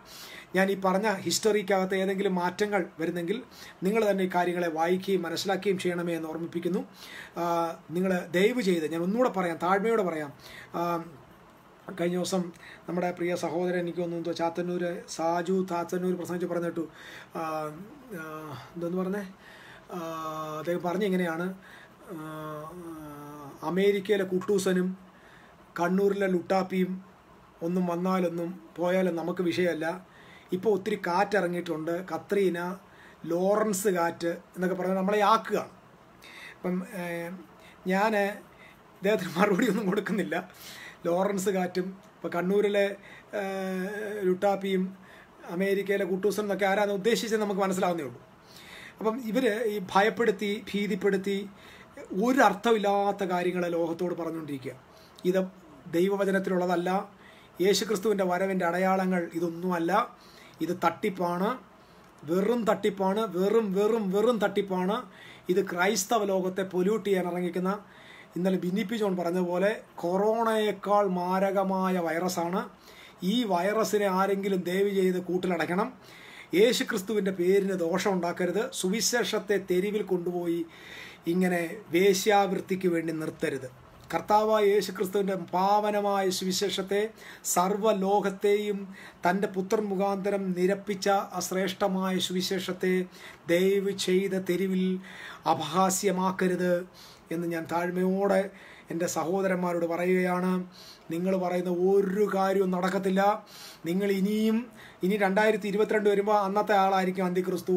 ഇത് കുറേ കാലം കൊണ്ട് തുടങ്ങിയ വിവരമില്ലായ്മയാണ്. ഇത് സ്വസാദാം ഹുസൈൻ വന്നപ്പോൾ അങ്ങേര അന്തിക്രിസ്തു ഡൊണാൾഡ് ട്രംപ് വന്നപ്പോൾ അങ്ങേര അന്തിക്രിസ്തു പിന്നെന്തോന്ന് ഒബാമ വന്നപ്പോൾ അങ്ങേര അന്തിക്രിസ്തു ജോർജ് ബുഷ് വന്നപ്പോൾ അന്തിക്രിസ്തു കുവൈറ്റ് യുദ്ധം തുടങ്ങിയപ്പോൾ അന്ത്യകാലം. എവിടോ വിവരം കെട്ട ലോഹമേ ഏതെങ്കിലും ഒരു സ്ഥലത്തൊന്ന് ഉറച്ചു നിൽക്കേ ഏതെങ്കിലും ഒരുത്തനാണ് ഇത് അന്തിക്രിസ്തു ഒന്ന് പറ. അവിടെ അങ്ങ് നിൽക്ക് മുടിഞ്ഞു പോകാൻ നീ അവിടെ അങ്ങ് നിൽക്ക് നിന്നിട്ട് അങ്ങാരാന്നങ്ങ് പറഞ്ഞ് തെളിയിക്ക്. ചിപ്പ് കണ്ടുപിടിച്ചു ചിപ്സ് കണ്ടുപിടിച്ചു മിച്ചർ കണ്ടുപിടിച്ചു എന്ന് പറഞ്ഞുകൊണ്ട് ഇങ്ങനെ അതിന്റെ പുറകെ നടക്കാതെ. ഇത് സംഭവിച്ച കാര്യമല്ല. ഞാൻ ലോകത്തോട് പറയാം ഇത് സംഭവിച്ച കഥയാണ്. വെളിപ്പാട് പുസ്തകം സംഭവിച്ച കഥയാണ്. വെളിപ്പാട് പുസ്തകത്തിന്റെ ഒടുവിലത്തെ അധ്യായങ്ങളിലാണ് അവന്റെ സഭ എന്ന കാര്യം മറക്കരുത്. നടന്ന കാര്യത്തെ വീണ്ടും കുത്തിപ്പൊക്കി കുത്തിപ്പൊക്കി അതിനകത്തെ ചീഞ്ഞത് പൊക്കി പുറത്തെടുത്ത് ജനത്തെ ഭീതിയിലാക്കുന്ന നടപടികൾക്കൊരവസാനമുണ്ടാകാൻ ദൈവം ഇടവരുത്തട്ടെന്ന് ഞാൻ പ്രാർത്ഥിക്കുന്നു. എന്നെ കേട്ട ഇത്രയും പേരെങ്കിലും ദയവ് ചെയ്ത് നിങ്ങൾ സമാധാനത്തോടെ കിടന്ന് ഉറങ്ങ്. സമാധാനത്തോടെ കിടന്ന് ഉറങ്ങ്. ഒന്നാമതേ ലോകമെല്ലാം ഭയത്തിലാണ്. നാട് മുഴുവൻ. ഇപ്പം ഞാൻ താമസിക്കുന്ന ഈ ദേശത്തുനിന്ന് ഞാൻ ഒന്നോ രണ്ടോ പേരെ ഇത്ര നാളെ കാണി ഇന്ന് ഒരെണ്ണം പുറത്തിറങ്ങത്തില്ല. എല്ലാം ഭയന്നിരിക്കുകയാണ്. ലോകം മൊത്തവും പേടിച്ചിരിക്കുമ്പോൾ കാണാം അത് ആ വൈറസ് വരുന്നു ഈ വൈറസ് വരുന്നു. അതിന് രണ്ടായിരത്തി ഒമ്പതിൽ അത് തകരാൻ പോകുന്നു ഇത് തകര ഇത് നിർത്ത്. നിർത്ത്. ലോകം മൊത്തം നെഗറ്റീവാണ് അമേരിക്കയിൽ രണ്ട് ലക്ഷം പേര് മരിക്കാൻ പോകുന്നു എന്ന് ഇപ്പോഴേ ഓരോരുത്തന്മാർ അങ്ങ് പ്രവചിക്കുക.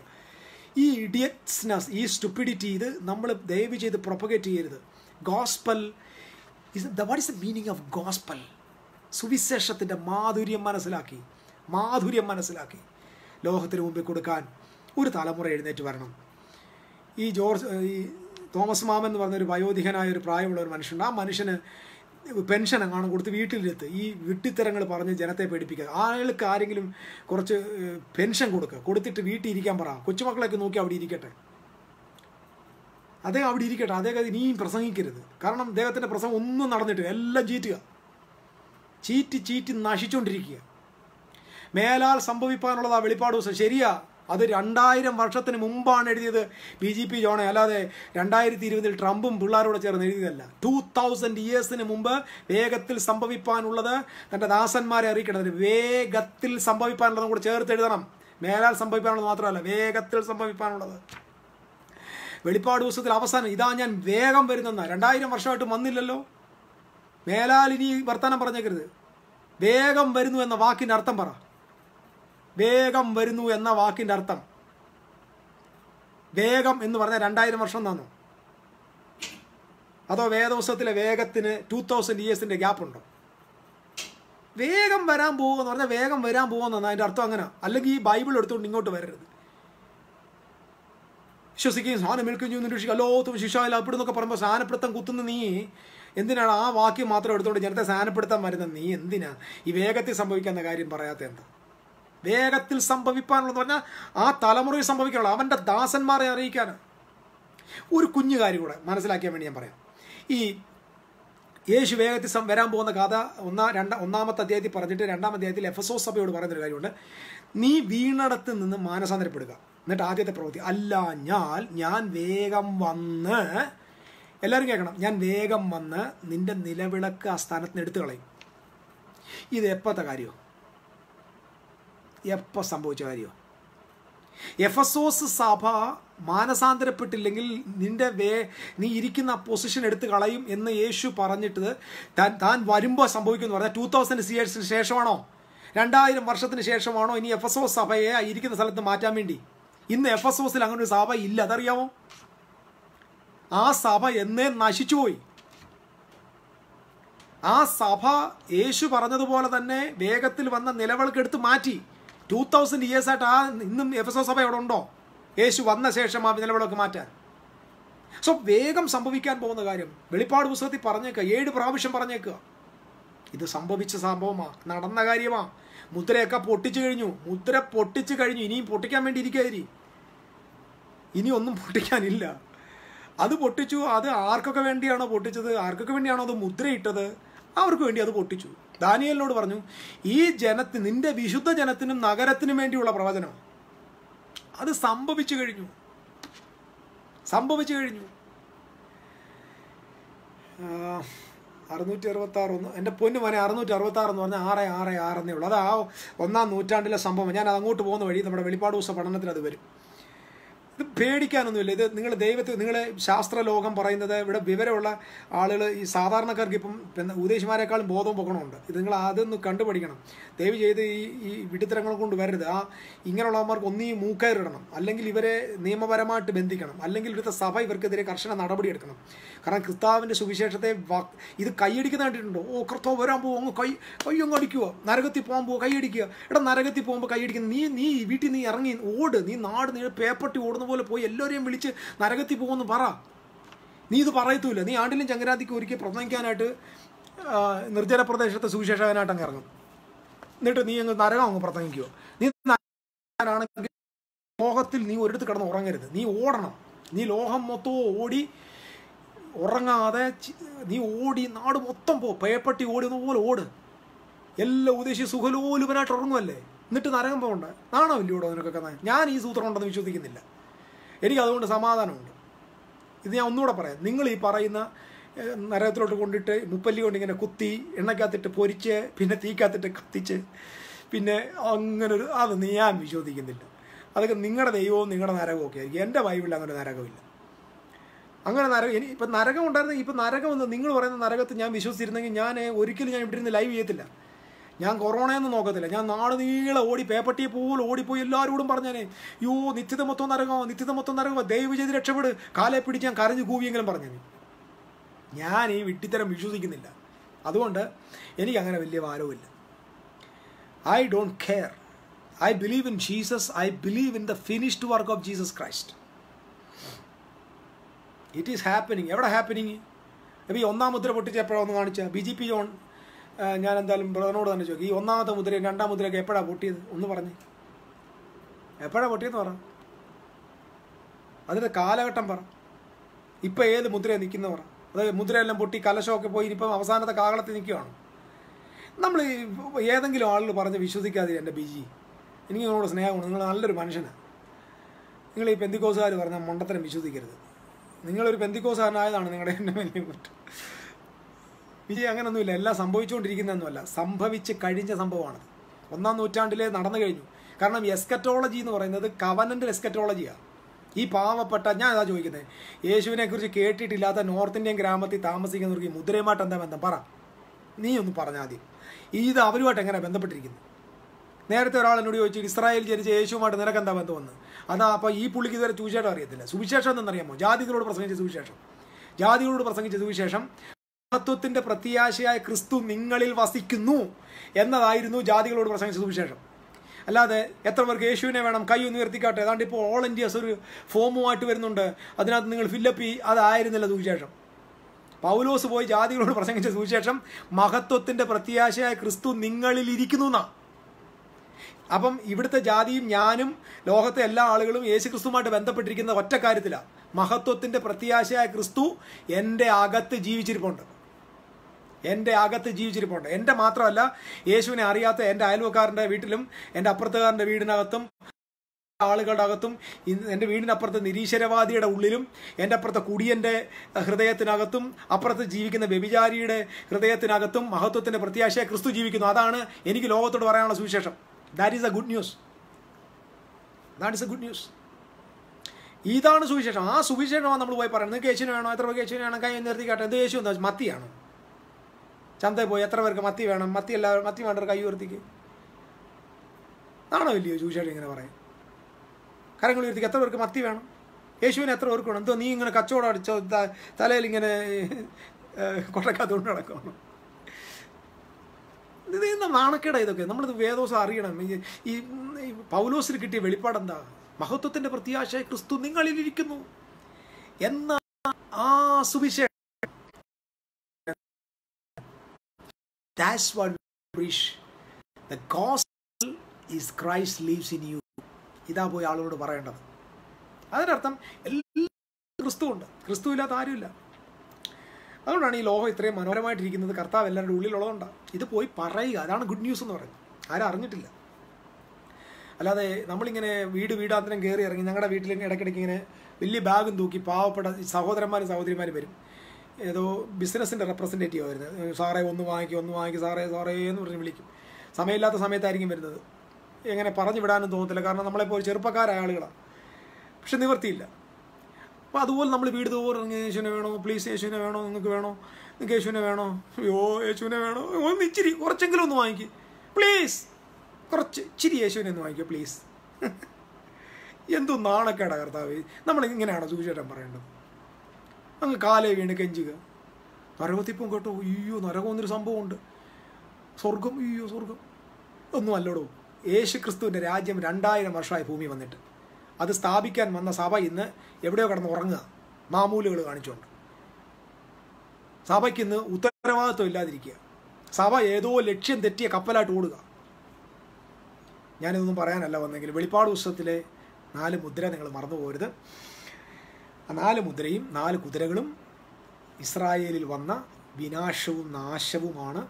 പത്ത് ലക്ഷം യഹൂദന്മാരെ കൊന്ന സംഭവങ്ങളാണത്. ബാക്കിയുള്ള മുദ്രകൾ നമുക്ക് ഇതേ ബന്ധത്തിൽ വിശദീകരിക്കാൻ അടുത്ത ദിവസങ്ങൾ സമയം കിട്ടുമ്പോൾ വരാം. സമയം ഉണ്ട്. ഞാൻ പലപ്പോഴും ഇവിടെ വരാത്തതിന്റെ കാരണം ഞങ്ങളുടെ ഈ ഈ സ്ഥലത്ത് നെറ്റ്വർക്ക് ഇച്ചിരി പ്രശ്നമാണ്. ഇതൊക്കെ തന്നെ കറക്റ്റായിട്ട് കിട്ടുന്നതെന്ന് ഞാൻ വിശ്വസിക്കുന്നത് ഓക്കെ എന്നെ ഇത്ര നേരം വാച്ച് ചെയ്ത് എല്ലാവരോടും ഞാൻ സ്നേഹവും എന്റെ വന്ദനവും നന്ദിയും ഞാൻ അറിയിക്കുന്നു. എനിക്ക് തോന്നുന്നു അടുത്ത ലൈവുകൾ നമ്മുടെ പ്രിയപ്പെട്ടവർ തന്നെ പലതും കൊണ്ടുവരാനുണ്ട്. നിങ്ങൾ ഞങ്ങളെയൊക്കെ ഓർത്ത് പ്രാർത്ഥിക്കുക. നമുക്ക് പരസ്പരം സ്നേഹത്തിൽ മുന്നോട്ട് പോകാം. നമുക്ക് രാജ്യത്തിന് വേണ്ടി പ്രാർത്ഥിക്കാം. നമ്മുടെ ഇന്ത്യയ്ക്ക് വേണ്ടി ലോകത്തിന് വേണ്ടി പ്രാർത്ഥിക്കാം. നശിച്ചു പോകുന്നവർക്ക് വേണ്ടി പ്രാർത്ഥിക്കാം. ആരും നശിച്ചു പോകരുതേ. ആരും തകരല്ലേ നമുക്ക് പ്രാർത്ഥിക്കാം. ഒരു വാക്കൊന്ന് പ്രാർത്ഥിച്ച് നമുക്ക് ഈ സെക്ഷൻ അവസാനിപ്പിക്കാം. സ്നേഹനിധിയായ ഞങ്ങളുടെ ദൈവമേ പരിശുദ്ധ പിതാവേ ഞങ്ങൾ ഈ ലൈവിൽ കാണുന്ന ഞങ്ങളെല്ലാം ഒരുമിച്ച് പ്രാർത്ഥിക്കുന്നു. ലോകം മുഴുവൻ മഹാമാരിയാൽ കഷ്ടപ്പെടുന്ന സങ്കടപ്പെടുന്ന വേദനിക്കുന്ന ഞങ്ങളുടെ സമശിഷ്ടങ്ങൾക്ക് വേണ്ടി ഞങ്ങൾ പ്രാർത്ഥിക്കുന്നു. അവരുടെ എല്ലാ ഉള്ളിൽ മഹത്വത്തിന്റെ പ്രത്യാശയായ ക്രിസ്തു ഉണ്ട്. കർത്താവേ ഇമ്മാനുവേലായി നീ അവർക്ക് വിടുതലും സൗഖ്യവും അയക്കണമേ. നിയന്ത്രണമില്ലാത്ത നിലയിൽ ഇത് വ്യാ ഇത് ബാധിച്ചുകൊണ്ടിരിക്കുന്ന രാജ്യങ്ങളിൽ ദൈവത്തിന്റെ വലിയ ഇടപെടൽ ഉണ്ടാകുവാൻ ഞങ്ങൾ ഒരുമിച്ച് പ്രാർത്ഥിക്കുന്നു. ഞങ്ങളുടെ പ്രിയപ്പെട്ടവരെയും സൂക്ഷിക്കണമേ. ഞങ്ങളുടെ രാജ്യത്തോട് കരുണ തോന്നണമേ.